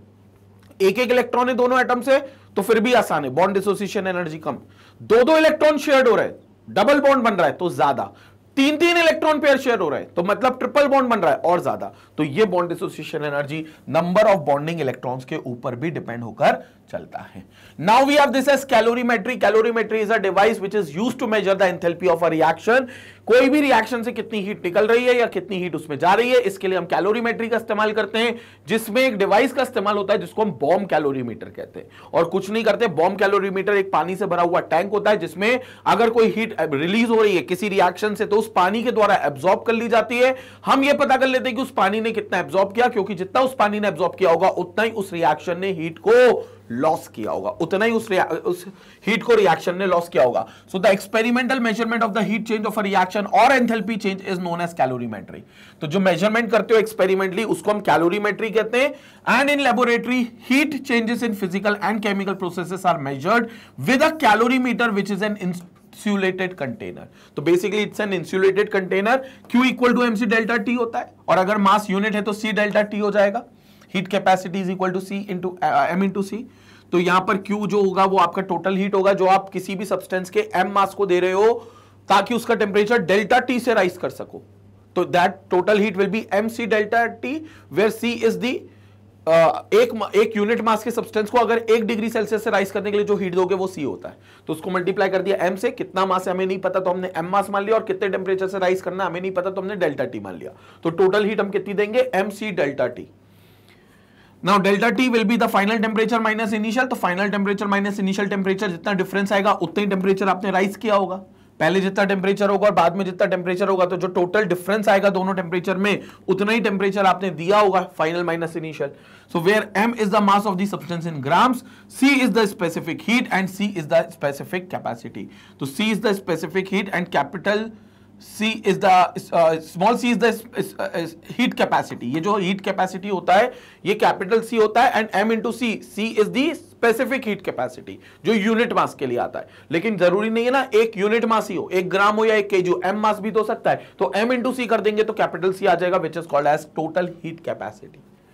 for endothermic change Q is positive and for exothermic change Q is negative जो हीट आप दे रहे हो एंडोथर्मिक के लिए वो पॉजिटिव में जाएगा क्योंकि उसको आप हमेशा सप्लाई करोगे एक्सोथर्मिक में वो क्यू आपको मिलेगा क्योंकि वहां से वो रिलीज होगा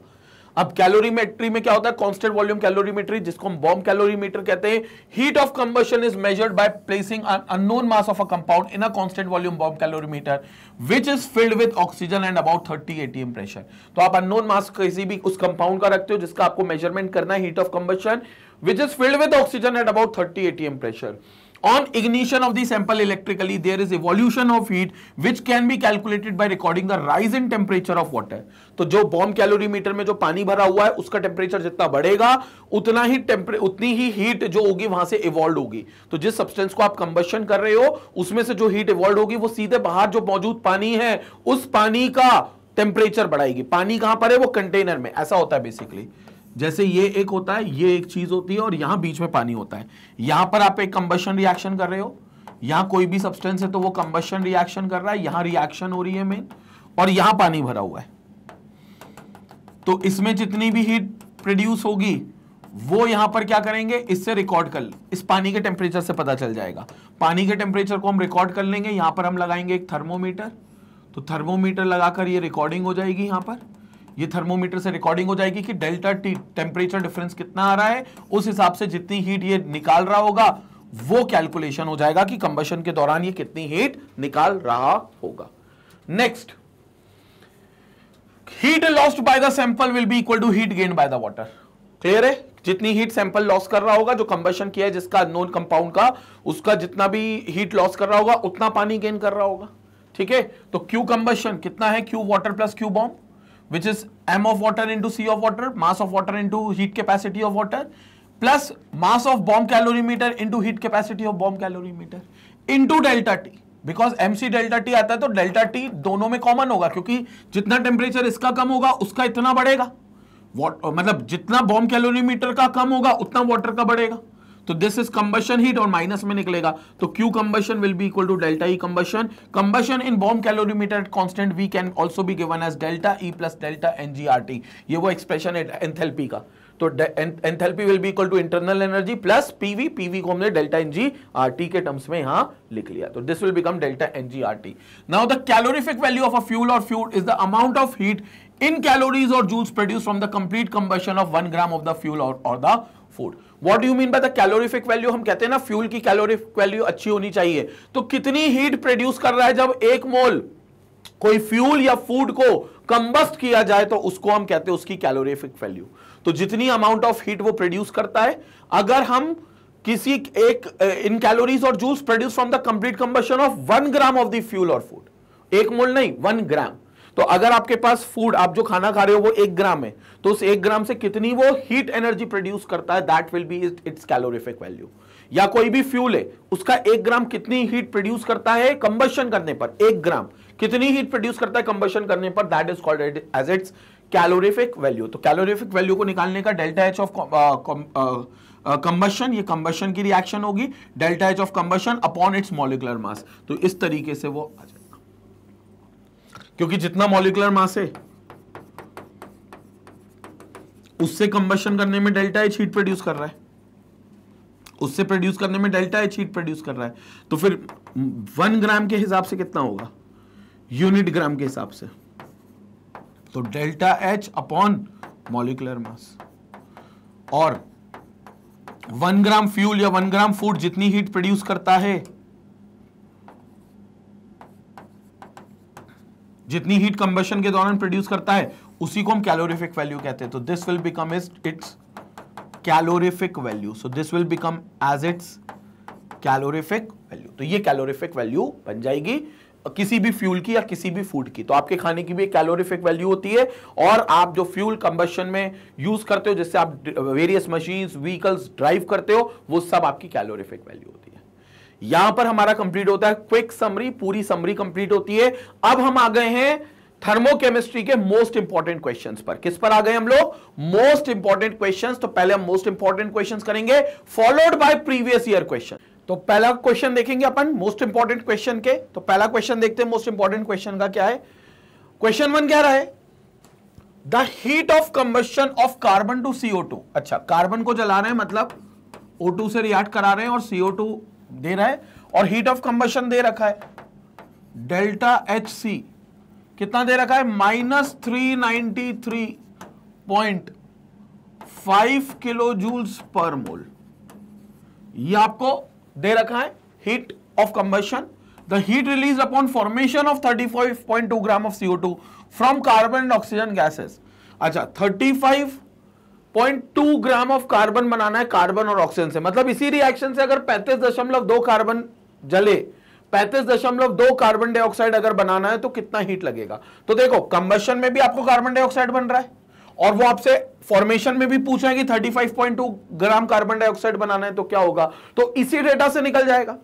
क्योंकि इसके कंबशन में भी CO2 बन तो रहा है ना अल्टीमेटली कंबशन रिएक्शन तो कार्बन और ऑक्सीजन के हिसाब से लेकिन फॉर्मेशन तो CO2 का ही हो रहा है ना तो इसका मतलब यह हुआ कि इसी डेटा से अपन ये कैलकुलेट कर सकते हैं कि जो एंथेल्पी ऑफ कंबशन आ रहा है वो एक्चुअली एक मोल एंथेल्पी ऑफ फॉर्मेशन है CO2 का तो मतलब enthalpy of formation enthalpy of formation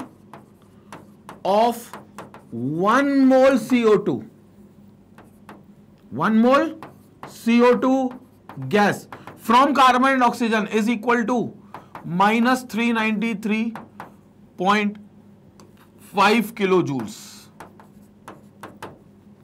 और एक मोल मतलब 44 ग्राम कार्बन डाइऑक्साइड तो 44 ग्राम CO2 को जलाने के लिए माइनस थ्री किलो जूल्स की एनर्जी चाहिए 44 ग्राम CO2 को जलाने के लिए minus three ninety three point minus three ninety three point five kilo joules की एनर्जी चाहिए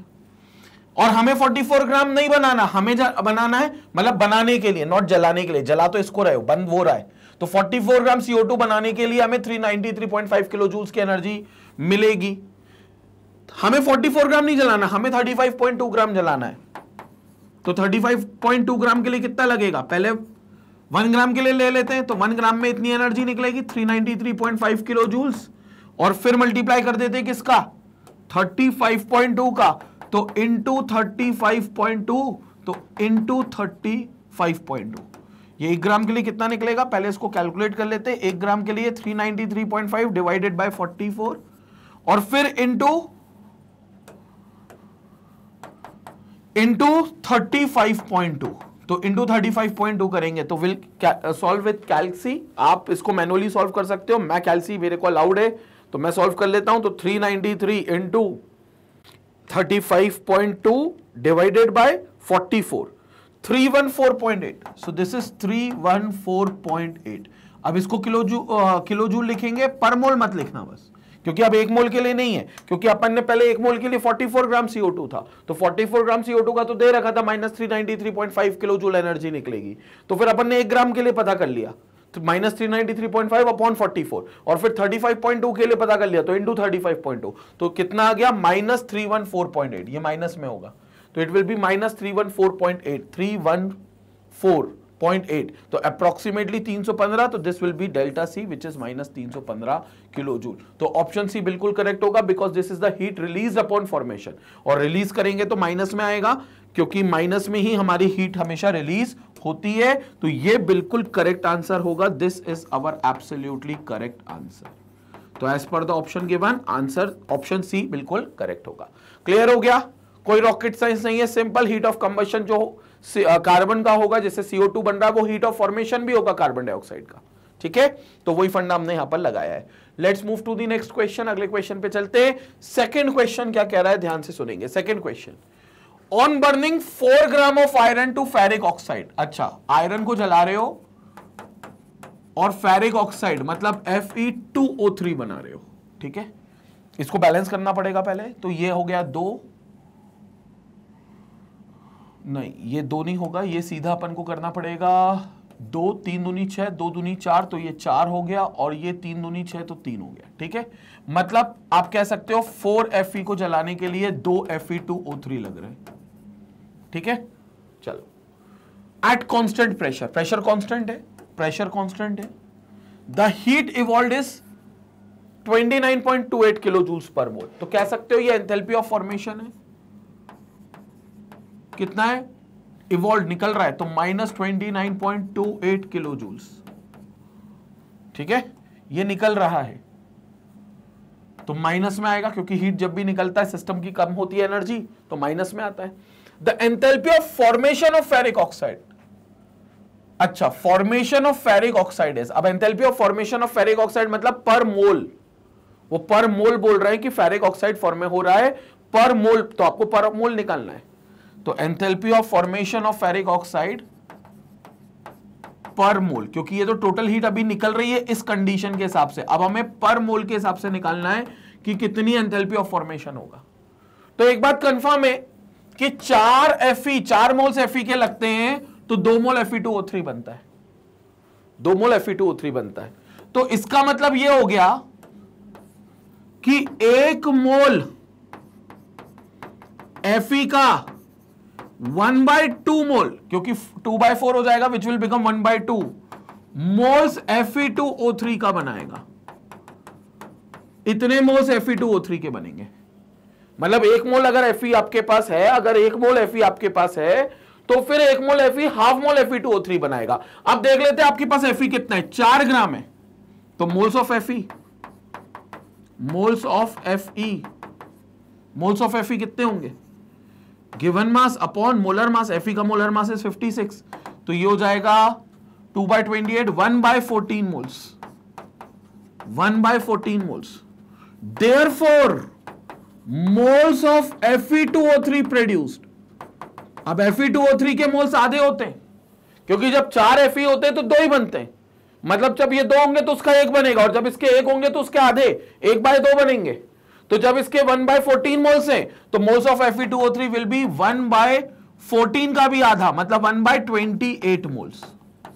तो इसके कितने मोल्स बनेंगे one by twenty eight moles इतने मोल्स बनेंगे अब इतनी एंथेल्पी निकल रही है 29.28 किलो जूल्स तो अब हमें निकालनी है enthalpy of formation of F जो कि 1 बाय ट्वेंटी मोल्स के लिए निकले गए तो इतनी एंथेल्पी निकल रही है 29.28 किलो जूल्स ये हमारी क्वेश्चन के हिसाब से ठीक है ना तो इसका मतलब यह हुआ कि energy released energy released to 1 three 28 F E Fe2O3 O Fe2O3 के मोल्स जब फॉर्म होंगे तो कितनी एनर्जी रिलीज होगी ये क्वेश्चन में दिया हुआ है कितना minus twenty nine point two eight minus twenty nine point two eight kilo joules ठीक है तो एक मोल के लिए कितनी होगी minus twenty nine point two eight divided by one by twenty eight तो यहां पर equal to minus twenty nine point two eight into twenty eight तो ये हो जाएगी किसके लिए this will be kilo joule per mole अब इसको सॉल्व कर लेते यही हमारा आंसर होगा संबट पड़ी के बाद तो ये this will be kilo joule per mole क्योंकि वन बाई ट्वेंटी एट के लिए इतना है और वन बाई ट्वेंटी एट कैसे निकला चार ग्राम आयरन को जब जलाओगे तो F E two O three बनेगा तो चार ग्राम मतलब वन बाय फोर्टीन मोल्स तो उसके F E two O three के कितने बनेंगे वन बाय ट्वेंटी एट उसके भी आधे तो one by twenty eight moles में इतनी एनर्जी लगेगी और हमें एंथेल्पी ऑफ फॉर्मेशन पर मोल निकालना पड़ता है तो पर मोल के लिए हमने निकाल दिया तो it will be twenty nine point two two two eight divided in in 29.28 divided uh, into into 28 so eight one nine point eight four मतलब माइनस आठ सौ उन्नीस point eight four kilo joules per mole kilo joule per mole ये मिलेगी energy minus आठ सौ उन्नीस point eight four kilo joule per mole तो करेक्ट आंसर देख लेते हैं minus eight one nine point eight four kilo joules per mole option D option D will be the तो ये ऑप्शन डी बिल्कुल करेक्ट होगा ठीक है और हीट uh, इवॉल्व ही हो रही है ना the heat evolve yes evolve हो रही है तो माइनस में होगा तो this will be the correct answer ठीक है तो this is our correct answer clear हो गया तो this was the second question जो हमने यहां पर कर लिया है इस तरीके से क्वेश्चन सॉल्व हो रहा है सिंपल है अगर आपने कंसेप्ट पर ध्यान दिया हुआ है पूरी थ्योरी आपने पढ़ी है तो ये बेसिक क्वेश्चन है वही हीट एंथेल्पी पर लेकर let's move to the another question अगले क्वेश्चन पे चलते हैं जो कि होगा अब हमारा थर्ड क्वेश्चन तो थर्ड क्वेश्चन पर चर्चा कर लेते हैं थर्ड क्वेश्चन पे बात कर लेते हैं अब cooking gas cylinder is assume to contain 11.2 point two K G isobutane एक कुकिंग गैस सिलेंडर में 11.2 पॉइंट टू के जी आइसोब्यूटेन आता है and the combustion of isobutane is given by butane is C four H ten combustion करोगे O two से react करोगे CO two और H two बनेगा और जो आपको हीट मिलेगी जिससे आपका खाना पकेगा वो इतनी हीट मिलेगी minus two six five eight kilo joules इस दौरान इस रिएक्शन के हिसाब से इतनी एंथेल्पी मिलेगा if a family needs fifteen thousand kilo joules of energy per day for cooking अगर एक परिवार को पंद्रह हजार किलो जूल ऑफ एनर्जी चाहिए कुकिंग के लिए तो कितन how long would be the cylinder last तो वो एलपीजी का सिलेंडर कितने दिन चलेगा वो एलपीजी का सिलेंडर कितने दिन चलेगा आपको ये बताना है अगर 15,000 के ऑफ एनर्जी पर डे चाहिए तो जो सिलेंडर में 11.2 जी आइसोब्यूटेन आता है वो कितने दिन चलेगा उसकी बात कर रहे हैं assuming that percent of the gas is wasted due to incomplete combustion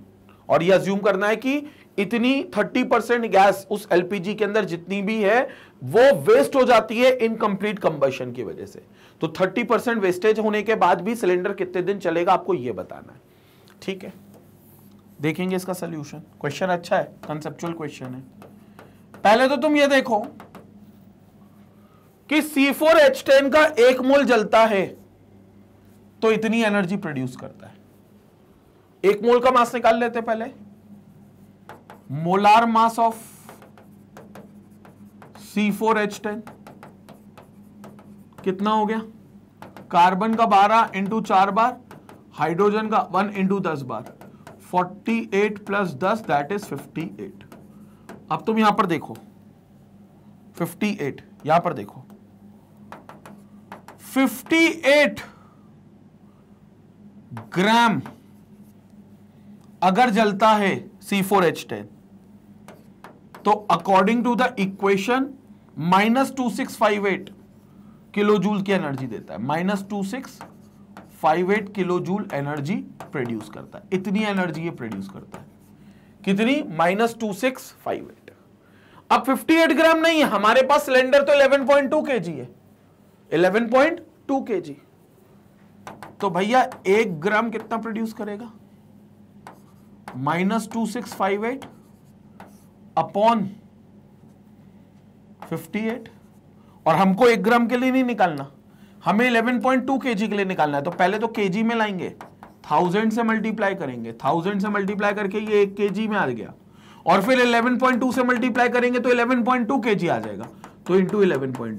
तो इतनी एनर्जी ये प्रोड्यूस करेगा एक एलपीजी सिलेंडर एक एलपीजी सिलेंडर तो इसको पहले कैलकुलेट कर लेते हैं लेट्स कैलकुलेट हियर तो we have minus 2658 into 1000 into 11.2 divided by 58. So the answer will come out to be 513268.9. Okay? So it will be minus of 513268.9. 68.9 kilo joules इतनी energy produce करेगा एक एलपीजी सिलेंडर पूरी 11.2 KG जिसके अंदर butane भरा हुआ है ठीक है इसको अपन एक्सपोनेंशियल टर्म में लिख लेते हैं तो एक दो तीन चार तो 51.32 इंटू टेन की power four kilo joule energy produce करेगा कितनी करेगा 51.32 वन पॉइंट की पावर 4 किलो जूल्स एनर्जी ये प्रोड्यूस करेगा जिसमें से 30 परसेंट वेस्ट हो जाएगा तो काम कितना आएगा 70 परसेंट तो utilized utilized energy will be actual utilized energy utilized energy from LPG cylinder from gas cylinder बोलना चाहिए फ्रॉम गैस सिलेंडर इज कितना है फ्रॉम गैस सिलेंडर इज कितना है seventy percent so this implies energy useful is कितनी energy useful है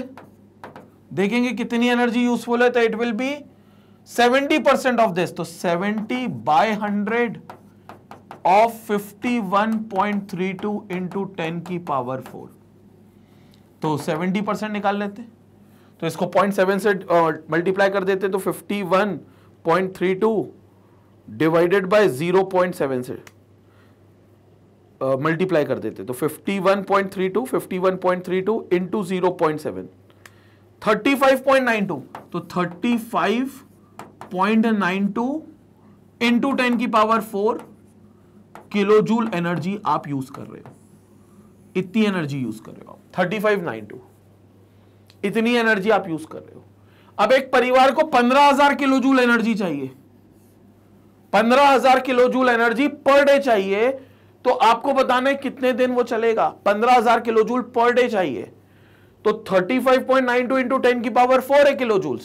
मतलब एक दिन कितना चलता है एक दिन में कितनी एनर्जी चाहिए so fifteen thousand kilo joule energy की रिक्वायरमेंट है एक दिन में in one day in one day तो फिर हमारे पास कितनी एनर्जी एलपीजी में हमारे पास एलपीजी में कितनी एनर्जी है 35.92 इंटू टेन की पावर फोर तो 35.92 इंटू टेन की पावर फोर एनर्जी कितने दिन चलेगी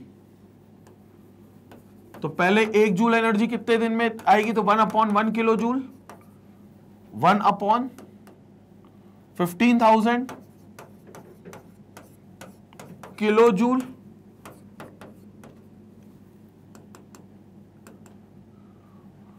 one upon fifteen thousand दिन चलेगी बल्कि कहना चाहिए one upon fifteen thousand days इतने डे चलेगा मतलब एक किलो जूल के हिसाब से ये एक किलो जूल की एनर्जी इतने दिन चलेगी one upon fifteen thousand days one upon fifteen thousand days और इतनी एनर्जी कितने दिन चलेगी one upon fifteen thousand into thirty five point nine two unitary method simple into ten की पावर फोर तो यहां से टेन की पावर फोर में तीन तो कैंसिल होगा यहां से एक दो तीन तो सिर्फ टेन बचा जिसको अपन three fifty nine point two कर लेते हैं तो three fifty nine point two divided by पंद्रह 359.2 divided by 15 359.2 divided by 15 so answer will be 23.94 days 23.9 days मतलब अप्रोक्सीमेटली सिलेंडर 24 डेज चल जाएगा 24 दिन चल जाएगा so as per the option given we have D option बिल्कुल करेक्ट है जो कि 24 डेज आ रहा है समझ में आया कैसे निकाला ये डी ऑप्शन बिल्कुल करेक्ट है जिसमें हमारा आंसर आ रहा है 24 डेज ये बिल्कुल करेक्ट है डी ऑप्शन 24 डेज पहले हमने निकाल लिया कि भैया 11.2 केजी में कितना एनर्जी आएगा क्योंकि हमको दे रखा था कंबेशन में एक मोल में इतना एनर्जी आता है एक मोल मतलब 58 ग्राम क्योंकि ब्यूटेन का एक मोल मतलब 58 ग्राम तो 58 ग्राम में इतना एनर्जी आया हमने कहा कि चलो 11.2 केजी में कितना एनर्जी आएगा तो ये 11.2 केजी में कितना एनर्जी आएगा ये हमने निकाल लिया तो हमें इतना एनर्जी मिला अब हम कह रहे हैं इसमें से सिर्फ सेवेंटी परसेंट काम में आता है कहा seventy percent thirty percent waste हो गया इनकम्प्लीट कंपन से तो इसका हमने सेवेंटी परसेंट निकाल लिया तो इतना एनर्जी सिलेंडर में मिलेगा अब एक परिवार को एक दिन में पंद्रह हजार किलो जूल चाहिए तो एक किलो जूल कितने दिन के लिए चाहिए उनको वन बटे पंद्रह हजार और फिर इतनी जूल जो कि सिलेंडर में आ रहा है इतने जूल एनर्जी इतने किलोजूल एनर्जी उन्हें कितने दिन चलाना पड़ेगा वन अपॉन पंद्रह हजार into thirty five point nine two into ten की पावर फोर यूनिटरी मेथड जब इसको सॉल्व किया तो approximately this will be the answer जो कि ट्वेंटी फोर डेज आ रहा है तो this will be the correct answer clear हो गया एकदम क्लियर है so this was question number third ये क्वेश्चन नंबर थर्ड है इंपॉर्टेंट क्वेश्चन था और अच्छा लॉजिकल और कंसेप्चुअल क्वेश्चन था let's move to the question number fourth अब चलते क्वेश्चन नंबर फोर्थ पर फोर्थ क्वेश्चन क्या कह रहा है ध्यान से देखेंगे if the heat of neutralization for a strong acid and base reaction is minus fifty seven point one kilo joules मतलब स्ट्रॉन्ग एसिड फिक्स है ये तो वैल्यू हम पढ़ चुके हैं ये बात वैल्यू स्ट्रॉन्ग एसिड और स्ट्रॉन्ग बेस के लिए हमेशा फिक्स होती है न्यूट्रलाइजेशन रिएक्शन तो वहां पर न्यूट्रलाइजेशन रिएक्शन होगा न्यूट्रल कंपाउंड बनेगा न्यूट्रलाइजेशन रिएक्शन होगा जिसमें जो एनर्जी निकल रही है वो कितनी निकल रही है एनर्जी ऑफ न्यूट्रलाइजेशन जिसको अपन डेल्टा एच एनस कहते हैं which is equal to minus fifty seven point one kilo joules minus fifty seven point one kilo joules now question आगे क्या पूछ बोल रहा है what would be the heat release when 350 centimeter cube of 0.20 molar strong acid इतने volume का इतनी molarity का एक डायबेसिक स्ट्रॉन्ग एसिड है is mixed with 650 centimeter cube of 0.10 molar mono acidic base मतलब ये डायबेसिक स्ट्रॉन्ग एसिड है इसमें दो एच प्लस है इतनी मोलारिटी और इतने वॉल्यूम का उसको मिलाया जा रहा है एक मोनो एसिडिक बेस के साथ मोनो एसिडिक मतलब इसमें एक ओ एच माइनस है तो 0.10 मोलारिटी और 650 सेंटीमीटर क्यूब उसका तो अपन एक काम करते हैं सबसे पहले वॉल्यूम एमएल में दिया है तो अपन सबसे पहले नंबर ऑफ मिलीमोल्स निकाल लेते हैं किसके एसिड और बेस दोनों के तो number of millimoles of acid कैसे निकलेगा मोलारिटी इनटू वॉल्यूम करके एमएल में वॉल्यूम ऑफ एसिड कितनी molarity 0.20 point two zero into three fifty zero point two zero into volume is three fifty तो इसको सॉल्व करते हैं zero point two zero into three fifty seven seventy आएगा zero point two zero into three fifty so that will be equal to seventy moles sorry milli moles seventy milli moles मतलब seventy मिली moles acid के तो यहां से अपन number of H plus ion पता कर लेते हैं क्योंकि एक मोल से दो एच प्लस आयन निकलेंगे एक मोल से दो एच प्लस आयन निकलेंगे तो number of H plus ions कितने निकलेंगे ये पता कर लेते हैं तो number of H plus ions कितने निकलेंगे equal to two into seventy millimoles इतने number of H plus ions निकलेंगे टू इंटू सेवेंटी यानी कि वन फोर्टी मिलीमोल्स क्यों क्योंकि it's a dibasic acid it's a dibasic acid मतलब एक मॉलिक्यूल के एसिड से दो एच प्लस निकलते हैं एसिड का अगर एक मॉलिक्यूल है तो उसमें से दो एच प्लस निकलते हैं तो ये एक मॉलिक्यूल से दो एच प्लस निकलेंगे तो भैया 70 मिलीमोल्स अगर आपके पास है तो 70 इंटू टू क्योंकि एक मोल से दो मोल एच प्लस निकलेंगे तो एक मिलीमोल से दो मिलीमोल एच प्लस निकलेंगे तो 70 मिलीमोल से 140 मिलीमोल्स निकलेंगे ये number of H plus science आ गया number of H plus science आ गया सिमिलरली बेस के लिए भी कर लेते हैं यहां पर तो सिमिलरली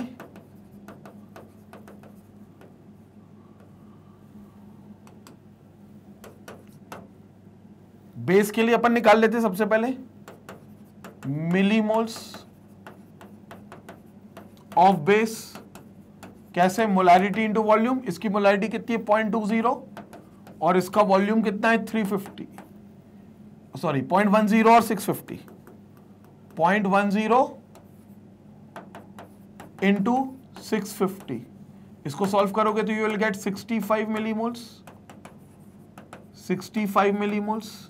और इसके अंदर मोल्स इसके अंदर ओ OH माइनस भी कितने होंगे 65 क्योंकि ये मोनो एसिडिक बेस है मतलब एक मिली मोल में एक ही ओ OH माइनस आयन है तो number of O OH minus ion will be equal to 65 millimoles तो ये आपने मिली मोल्स निकाल लिए ठीक है तो 140 फोर्टी मिली मोल्स है H प्लस के और ओ OH माइनस के 65 मिली मोल्स है हमें करना है हीट रिलीज्ड जब इन दोनों को आपस में मिक्स कर दिया जाएगा तो कितनी हीट प्रोड्यूस होगी जब इन दोनों को आपस में इन दोनों को मोनोएसिडिक और डायबेसिक को मिक्स कर दिया जाएगा तो अब लेकिन ये देखें कि इसके 65 मोल से और इसके 140 मोल से और बोल रहे हैं दोनों स्ट्रॉन्ग एसिड स्ट्रॉन्ग बेस हैं तो न्यूट्रलाइजेशन कंप्लीट न्यूट्रलाइजेशन होना चाहिए कंप्लीट न्यूट्रलाइजेशन तो सिर्फ इसके पैंसठ मोल के हिसाब से होगा क्योंकि इसके तो जरूरत से ज्यादा है ना इसके सिक्सटी फाइव मिलीमोल से और इसके वन फोर्टी मिलीमोल से तो इसके जरूरत से ज्यादा है तो complete neutralisation sixty five millimoles तक ही होगा क्योंकि उसके बाद इसके कुछ मिलीमोल्स बच जाएंगे तो फिर जो हमारा एनर्जी आएगा जो भी ये जो किलो जूल पर मोल आएंगे वो इस मिलीमोल के हिसाब से आएंगे और यहां पर इतना किलो जूल पर मोल दिया हुआ है ये पर मोल है तो हम पता कर लेते कि इतने मिलीमोल्स के हिसाब से कितने जूल एनर्जी आएगी तो this will be number of O H minus ions और moles of O H minus ions यहां से निकाल लेते हैं तो moles of O H minus ions क्या होगा 65 फाइव इंटू टेन की पावर माइनस थ्री और ये हमारा लिमिटिंग रीएजेंट होगा ये हमारा लिमिटिंग रीएजेंट होगा तो इसके हिसाब से एनर्जी बनेगी क्योंकि बाकी ये फिर कुछ मोल्स तो रह जाएंगे इसके कुछ मोल्स तो बाकी रह जाएंगे तो इसके हिसाब से सिर्फ हमारा हमारी जो एनर्जी आएगी वो इसके हिसाब से आएगी तो अब दे रखा है हमको क्या एक मोल एक mole O H minus one mole O H minus ion produces minus fifty seven point one kilo joules of energy क्योंकि ये पर मोल होती है ना तो कांस्टेंट एनर्जी है फिक्स है minus fifty seven point one kilo joules and we have कितने moles sixty five into ten की पावर माइनस थ्री मोल्स तो सिक्सटी फाइव इंटू टेन की पावर माइनस थ्री मोल्स में कितना होगा minus fifty seven point one into sixty five into ten की power minus three इतने kilo joules आएंगे energy equation के हिसाब से क्योंकि वो एनर्जी पर मोल थी हमारे पास एक मोल आई नहीं हमारे पास तो 65 मिली मोल्स है उसके हिसाब से एनर्जी निकलेगा तो कितनी निकलेगी कैलकुलेट कर लेते हैं तो एनर्जी आएगी 3711.5 3711.5 इंटू टेन की पावर माइनस थ्री माइनस में वो भी इन किलो जूल्स तो ये किलो जूल्स के हिसाब से आएगी इसको और सॉल्व करेंगे तो 3.71 किलो जूल्स 3.71 किलो जूल्स 10 की पावर माइनस थ्री और यहां पर हम ले जाएंगे तो it will be 3.71 kilo joules clear हो गया so so 3.71 kilo joules answer देख लेते हैं भाई it will be 3.71 this will be 3.71 B तो बी ऑप्शन बिल्कुल करेक्ट है so as per the option given B option is absolutely correct ये हमारा करेक्ट आंसर आ गया ठीक है सो इट विल बी 3.71 और टेन uh, की पावर माइनस थ्री एक दो तीन three point seven one yes clear हो गया तो ये हमारा बिल्कुल करेक्ट आंसर है this is our correct answer complete neutralisation में जो मोल्स हमें दिए उसके हिसाब से इतनी एनर्जी हमें uh, निकलेगी इतनी एनर्जी हमें मिलेगी ठीक है हीट रिलीज तो हीट रिलीज होगा तो it has to be negative negative ही होना चाहिए क्लियर हो गया so this was question number fourth और यहां पर हमारा इंपॉर्टेंट क्वेश्चन कंप्लीट होते हैं इसी तरीके के क्वेश्चन आते हैं नॉट एग्जैक्टली exactly ये क्वेश्चन आएंगे बट इसी कंसेप्ट पर बेस्ड क्वेश्चन जरूर आ सकते हैं ठीक है तो हो सकता है ये भी आ जाए डायरेक्टली बट इसकी ज्यादा चांसेस नहीं रहते क्योंकि क्वेश्चन रिपीट बहुत कम होते हैं लेकिन कंसेप्ट तो रिपीट होते हैं तो इसी कंसेप्ट पर क्वेश्चन आते हैं बिल्कुल let's move to the previous year questions now तो अब बात करते हैं किसकी प्रीवियस ईयर के कुछ क्वेश्चंस की प्रीवियस ईयर के इंपॉर्टेंट क्वेश्चंस कुछ देख लेते हैं और इसको देखते हैं कि कौन कौन से कंसेप्ट पर हमसे प्रीवियस ईयर में क्वेश्चन पूछे गए तो let's start with the first question पहले क्वेश्चन पर हम चलते हैं क्या है पहला question on the basis of the following thermochemical data JEE Main 2009 का सवाल है 2009 का सवाल है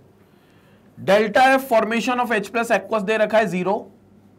H2O लिक्विड में H प्लस और OH माइनस डिसोसिएशन एंथेल्पी है ये ये दे रखी है 57.32 किलो जूल्स ठीक है और H2 plus O formation of H2O दे रखा है delta H is equal to minus two eighty six point two zero kilo joules also H naught for H plus aqueous is zero ठीक है ये H naught enthalpy of H plus H plus aqueous is zero तो अब value of enthalpy of formation of O H minus ion at twenty five degree Celsius निकालना है कि H minus ion की enthalpy of formation क्या है H plus की formation तो जीरो बोल दी अब हमें पता है देखो टू गैस में प्लस टू गैस में देगा हाफ ओ ठीक है हाफ H2O किसमें अपना लिक्विड में तो ये आपका half H two O liquid में देगा तो H plus two gives half two liquid में तो इस तरीके से आपकी रिएक्शन आएगी इसको बैलेंस करना चाहोगे तो आप हाफ से ना करते हुए ये यहां पर टू एच टू और यहां टू कर सकते हो ये एक बैलेंस इक्वेशन आती है अब इस बैलेंस इक्वेशन में हमें पता है कि अगर वाटर डिजोल्यूशन भी हो रहा है मतलब आयोनाइजेशन में भी जा रहा है तो उसकी आयोनाइजेशन एंथेल्पी से माइनस करना होगा फॉर्मेशन एंथेल्पी को हीट ऑफ रिएक्शन क्या होगा delta R H not delta R H not enthalpy of reaction क्या होगा कौन सी एंथेल्पी माइनस करेंगे formation of H plus aqueous की plus delta F H not of O H minus की माइनस किससे होगा delta F of formation of H two O liquid की ये एंथेल्पी माइनस होगी भाई ये एंथेल्पी माइनस होगी तो ये माइनस होगी और यहीं से हमारा ओ एच माइनस की फॉर्मेशन एंथेल्पी निकल जाएगी तो फॉर्मेशन एंथेल्पी एच प्लस की निकल गई जीरो और रिएक्शन की एंथेल्पी कितनी दे रखी है रिएक्शन की एंथेल्पी दे रखी है 57.32 किलो जूल्स पर मोल क्योंकि एक्वसली डिजोल्व हो रहे हैं ना दोनों तो ये 57.32 रिएक्शन की एंथेल्पी है तो यहां से ये निकल गया 57.32 इक्वल टू एच प्लस की कितनी बोल दी जीरो प्लस इसकी हमें निकालनी है delta F enthalpy of formation of OH H minus हमें निकालना है minus delta F of H two is minus two eighty six तो ये हो जाएगा minus of two eighty six point two zero kilo joules तो minus two eighty six point two zero kilo joules ये energy आ गई तो यहां से एंथैल्पी ऑफ फॉर्मेशन क्या हो गया delta F of H not of O H minus enthalpy of formation of O H minus कितना हो गया ये प्लस हो जाएगा प्लस होकर यहां फिर माइनस में चला जाएगा तो 57.32 माइनस टू किलो जूल्स अब इसको सॉल्व कर लेते हैं तो दो जीरो से माइनस कर देंगे 57.32 57.32 कितना हो गया 228.88 तो minus two two eight kilo joules will be the formation of delta F H naught OH minus. This will be the enthalpy of formation of OH minus. Minus 228.88 kilojoules. As per the option, option B बिल्कुल correct है. So this is option B absolutely correct. समझ आया? Main ये equation थी यहां से ये ये चीज इंपॉर्टेंट है कि जो एंथेल्पी ऑफ रिएक्शन होगा वो आयंस की ionisation energy minus formation of water होगा आयनाइजेशन एनर्जी मतलब एक्वस एच प्लस का फॉर्मेशन और ओ एच माइनस का formation minus of H two का फॉर्मेशन तो ये एनर्जी आएगी and this is minus two two eight point eight eight kilo joules पर मोल तो ये हमारा पहला क्वेश्चन हो गया जो कि जेई मेन e दो हजार नौ का सवाल है क्लियर हो गया तो जेई मेन e दो हजार नौ का सवाल कोई रॉकेट साइंस नहीं है सिंपल चीज थी ठीक है let's move to another question अगले क्वेश्चन पे चलते हैं जो जेई मेन 2016 का सवाल है भाई 2016 का क्वेश्चन है क्या कहता है सिक्सटीन का क्वेश्चन समझते हैं question number two previous year में the heat of combustion of carbon and carbon monoxide are this much and this much kilo joules पर मोल अच्छा कार्बन को जला रहे हो आप सी प्लस ओ टू तो कार्बन डाइऑक्साइड बन रहा है और हीट ऑफ कंबशन यानी कि कार्बन डाइऑक्साइड की फॉर्मेशन भी होगी वो फ्रॉम कार्बन तो minus three ninety three point five kilo joule है और कार्बन मोनोऑक्साइड को भी जला रहे हो आप कार्बन मोनोऑक्साइड इज सीओ इससे भी सीओ टू बन रहा है तो इसकी enthalpy of combustion carbon monoxide का कितना है minus two eighty three point five kilo joules दोनों एक मोल के लिए हैं तो दोनों एक मोल यानी पर मोल के लिए ठीक है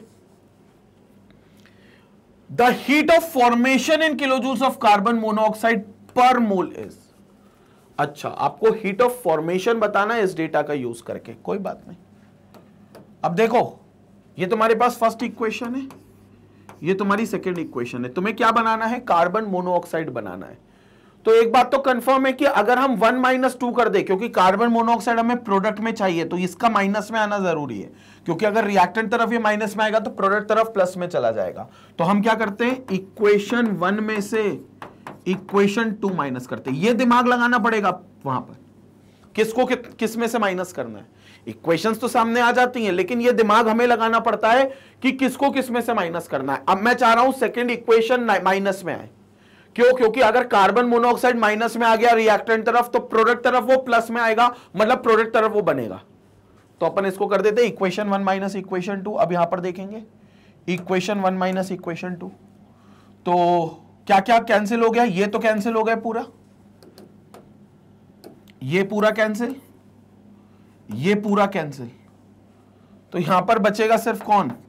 कार्बन ठीक है अच्छा वी हैवेंट बैलेंस्ड इट ना तो बैलेंस करके कैंसिल करेंगे तभी तो मैं सोचू डायरेक्ट कैसे करेगा कुछ तो बचा ही नहीं भाई बैलेंस करना जरूरी है पहले बैलेंस करेंगे C plus O two CO two ये तो ठीक है C O plus O two तो this will become half of O two तो हाफ ओ टू ओ मिलेगा ओ मिलेगा टू बनेगा तो हाफ ओ टू अब कर दो माइनस अब नहीं कटेगा वो ओ टू ये याद रखना बैलेंस कर बैलेंस करके ही काटेंगे अब देखो सीओ टू और सीओ टू तो कैंसिल सी माइनस सीओ तो C minus CO one minus one by two सिर्फ वन बाई टू बचेगा ये एक है और एक आधा है एक में से आधा गया तो आधा ओ टू बचा गिव्स नथिंग तो ये माइनस सीओ वहां चला जाएगा क्योंकि हम जीरो नहीं लिख सकते तो ये बन जाएगा कार्बन मोनोऑक्साइड तो ये आपके एंथेल्पी ऑफ फॉर्मेशन बन गई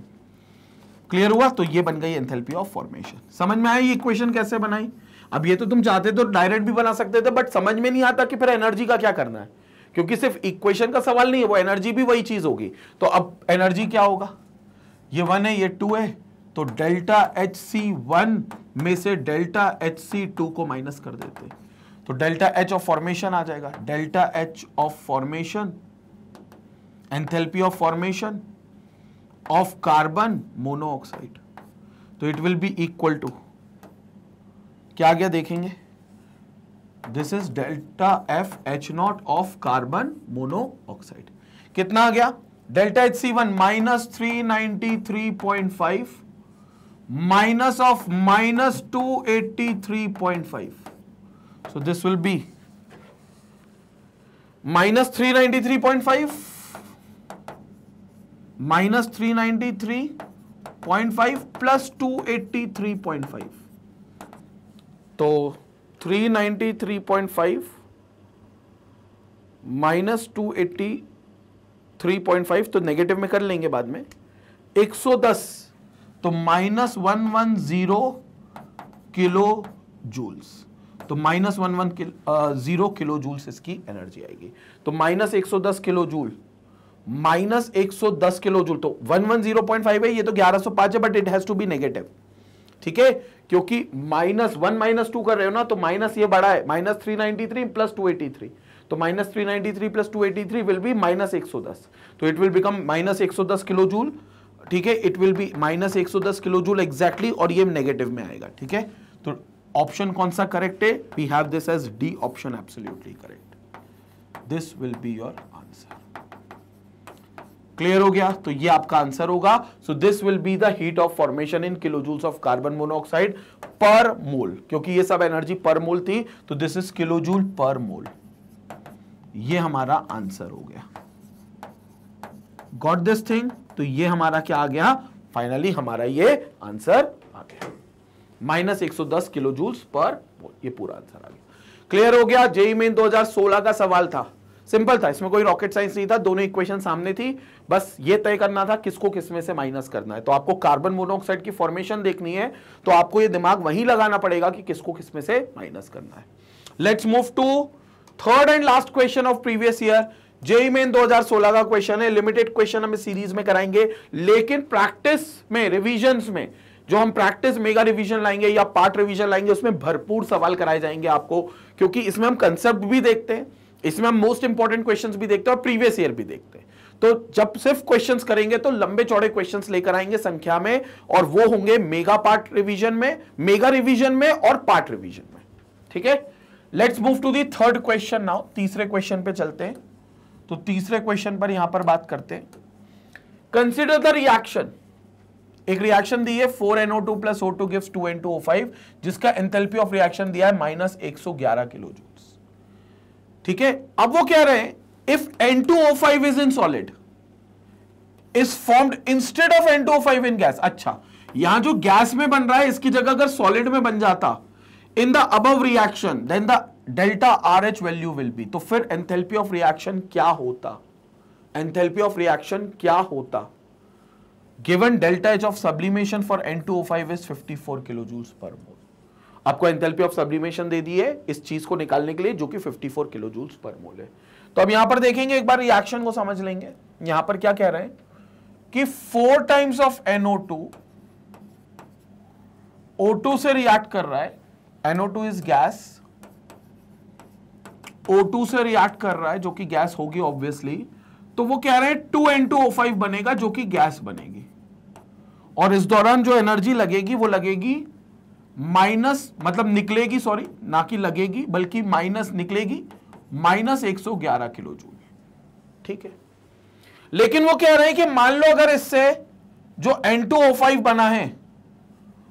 वो अभी तो फिलहाल क्या बना है गैस अगर सॉलिड बन जाता तो अगर सॉलिड बन जाता तो मतलब इससे हम चाहते हैं N2O5 सॉलिड बन जाता तो तो सॉलिड बन जाता तो कितनी एंथैल्पी लगती कितनी एंथैल्पी लगती यहां कितनी एंथैल्पी लगती और उनने एक चीज दे दी है कि एंथैल्पी ऑफ सब्लिमेशन एन का सब्लिमेशन मतलब सॉलिड से गैस में कन्वर्ट होने की एंथैल्पी दे दी जो कि दे दी 54 किलो जूल्स पर मोल 54 किलो जूल्स पर मोल ये भी पर मोल है तो उनने बोला ये NO2 से गैस से अगर N2O5 सॉलिड वाला बनाना है तो फॉर्मेशन एंथैल्पी यहां कितनी होगी तो ये एंथैल्पी ऑफ फॉर्मेशन कितनी होगी इसको बोल देते हैं हम डेल्टा एच एफ फॉर्मेशन ठीक है N2O5 सॉलिड की N2O5 सॉलिड की कितनी होगी अब यहां पर अपन हैजिस लॉ लगा सकते हैं हैस का नियम कि रिएक्शन अगर सीधा गए या फिर आपने NO2 को पहले N2O5 सॉलिड बनाया और सॉलिड से गैस बनाया आप स्टेप में गए अल्टीमेटली आप या तो सीधे चले जाओ तो इतनी एंथैल्पी लग रही है या फिर NO2 से पहले आपने N2O5 सॉलिड बना लिया क्योंकि वो बोल रहे हैं सॉलिड बनाने में कितनी एंथैल्पी लगेगी तो हमें पहले वो बनाना पड़ेगा उसकी एंथैल्पी माननी पड़ेगी कुछ अज्यूम कर लेंगे तो delta H F N two O five solid वाली मान ली और फिर फाइव को आपने गैस बना दिया तो सब्लिमेटिंग एनर्जी इतनी लगेगी तो हैजेस लॉ कहता है भाई साहब सीधे जाओ या स्टेप में होकर जाओ जो समेशन ऑफ एनर्जी है एच टी वो H one plus H two का इक्वल होगा तो H T will be equal to H one plus H two तो यहां पर हम क्या लगा देंगे यही नियम लगा देंगे Hess's law so according to Hess's law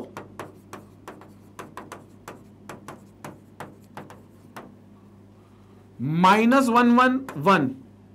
ठीक है kilo joule per mole will be equal to delta H delta F of H naught of N two O five solid plus delta sublimation of N two O five clear हो गया तो this is minus one one zero 111 kilo joules per mole will be equal to ये नहीं पता हमें तो delta H F H naught N two O five solid plus ये हमें पता है क्वेश्चन में दे रखा है 54 किलो जूल पर मोल तो यहां से हम क्या कर लेंगे सिंपल मैथ से तो delta F H naught of N two O five solid will be equal to minus one one one plus plus fifty four वहां है तो माइनस हो जाएगा वहां जाके तो माइनस फिफ्टी फोर कितना आ गया माइनस फिफ्टी फोर और ग्यारह पैंसठ तो one sixty five kilo joules per mole तो इतनी एनर्जी रिलीज होगी minus one sixty five kilo joules per mole and as per the option we have clear answer that is option A absolutely correct तो ये A option बिल्कुल correct है और ये हमारा बिल्कुल क्लियर आंसर है ऑप्शन ए क्योंकि कितनी एनर्जी आ रही है माइनस एक सौ kilo joule per mole so this will be our clear answer ये हमारा क्लियर आंसर आ गया minus one sixty five kilo joules per mole minus one sixty five kilo joules per mole clear हो गया तो ये हमारा क्वेश्चन था जेई मेन सोलह का जो कि प्रीवियस ईयर का क्वेश्चन था अच्छा क्वेश्चन था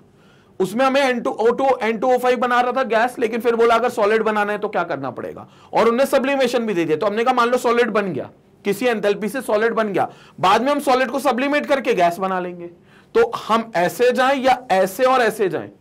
दोनों में हीट का समेशन सेम आएगा हैस लॉ के हिसाब से हैसेस के नियम के हिसाब से तो ये चीज आपको मिलेगी क्लियर हो गया ठीक है तो एक बार इस क्वेश्चन का स्क्रीनशॉट ले लेते फिर हम आगे वीडियो कंक्लूड करते स्क्रीनशॉट लेंगे तो क्लियर हुआ तो यहां पर हमारा डे सेवन यानी कि केमिकल थर्मोकेमिस्ट्री केमिकल थर्मोडाइनमिक्स जिसको बोलते हो या थर्मोकेमिस्ट्री जिसको बोलते हो या केमिकल एनर्जेटिक्स जिसको बोलते हो वो कंप्लीट होता है और इन केस अगर आप YouTube पर कोई डे या कोई वीडियो मिस आउट कर रहे हो तो आप सबसे बेहतर तरीका magnetbase.com आकर सारे लेक्चर्स को देख सकते हो magnetbase.com पर एक ऑर्गेनाइज्ड प्लेलिस्ट को absolutely free of cost access कर सकते हो क्योंकि क्या होता है जब आप YouTube पर पढ़ते हो तो YouTube पर कई बार कोई वीडियो आपको जो टॉपिक आप सर्च करते हैं उसका वीडियो तो आपको मिल जाता है लेकिन आपको यह नहीं पता होता कि इस टॉपिक के बाद और पहले कौन सा टॉपिक पढ़ना है और केमिस्ट्री में ज्यादातर टॉपिक्स इंटरकनेक्टेड होते हैं हर अगले टॉपिक का हर एक टॉपिक का अपने आगे और पीछे वाले टॉपिक से कोई कनेक्शन होता है और जब ये कनेक्शन मिलता है तो पढ़ाई में एक मोमेंटम बनता है एक फ्लो आता है बोले तो पढ़ाई में मजा आती है तो वो मोमेंटम के लिए आप magnetbrains.com आ सकते हो जहां सारे लेक्चर्स फ्री है मतलब ऐसा नहीं कि तुमको magnetbrains.com बुलाना है तो कोई पैकेज बाय करना है कोई सब्सक्रिप्शन बाय करना है या कोई कोड लगाना है कुछ नहीं 100% फ्री एजुकेशन है करना क्या है आपको मैग्नेट बेस पर आईटी टी सेक्शन में जाना है वहां सारे कोर्सेस आपको मिलेंगे किल शॉर्ट कोर्स 40 डेज का क्रैश कोर्स भी आपको मिलेगा यहां पर जैसे आप वॉच नाउ पे क्लिक करोगे सारे सब्जेक्ट वाइज यहां पर लिस्टिंग होगी फिजिक्स केमिस्ट्री मैथ सबकी और नंबर ऑफ लेक्चर्स लिखे हुए हैं और हर लेक्चर के आगे हर लेक्चर का ड्यूरेशन लिखा हुआ है कि कौन कितने मिनट का है कितने आवर का है सो so दैट आप अपनी पढ़ाई को प्लान आउट कर सको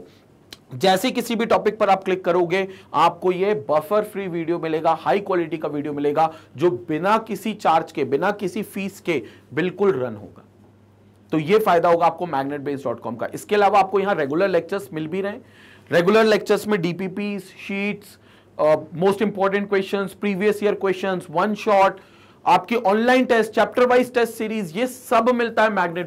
कॉम पर वो भी बिल्कुल फ्री ऑफ कॉस्ट मतलब ऐसा नहीं है कि कोई भी दो चैप्टर पढ़ाया उसके बाद आपको बोलेंगे कोई सब्सक्रिप्शन बाय करो हंड्रेड परसेंट फ्री एजुकेशन है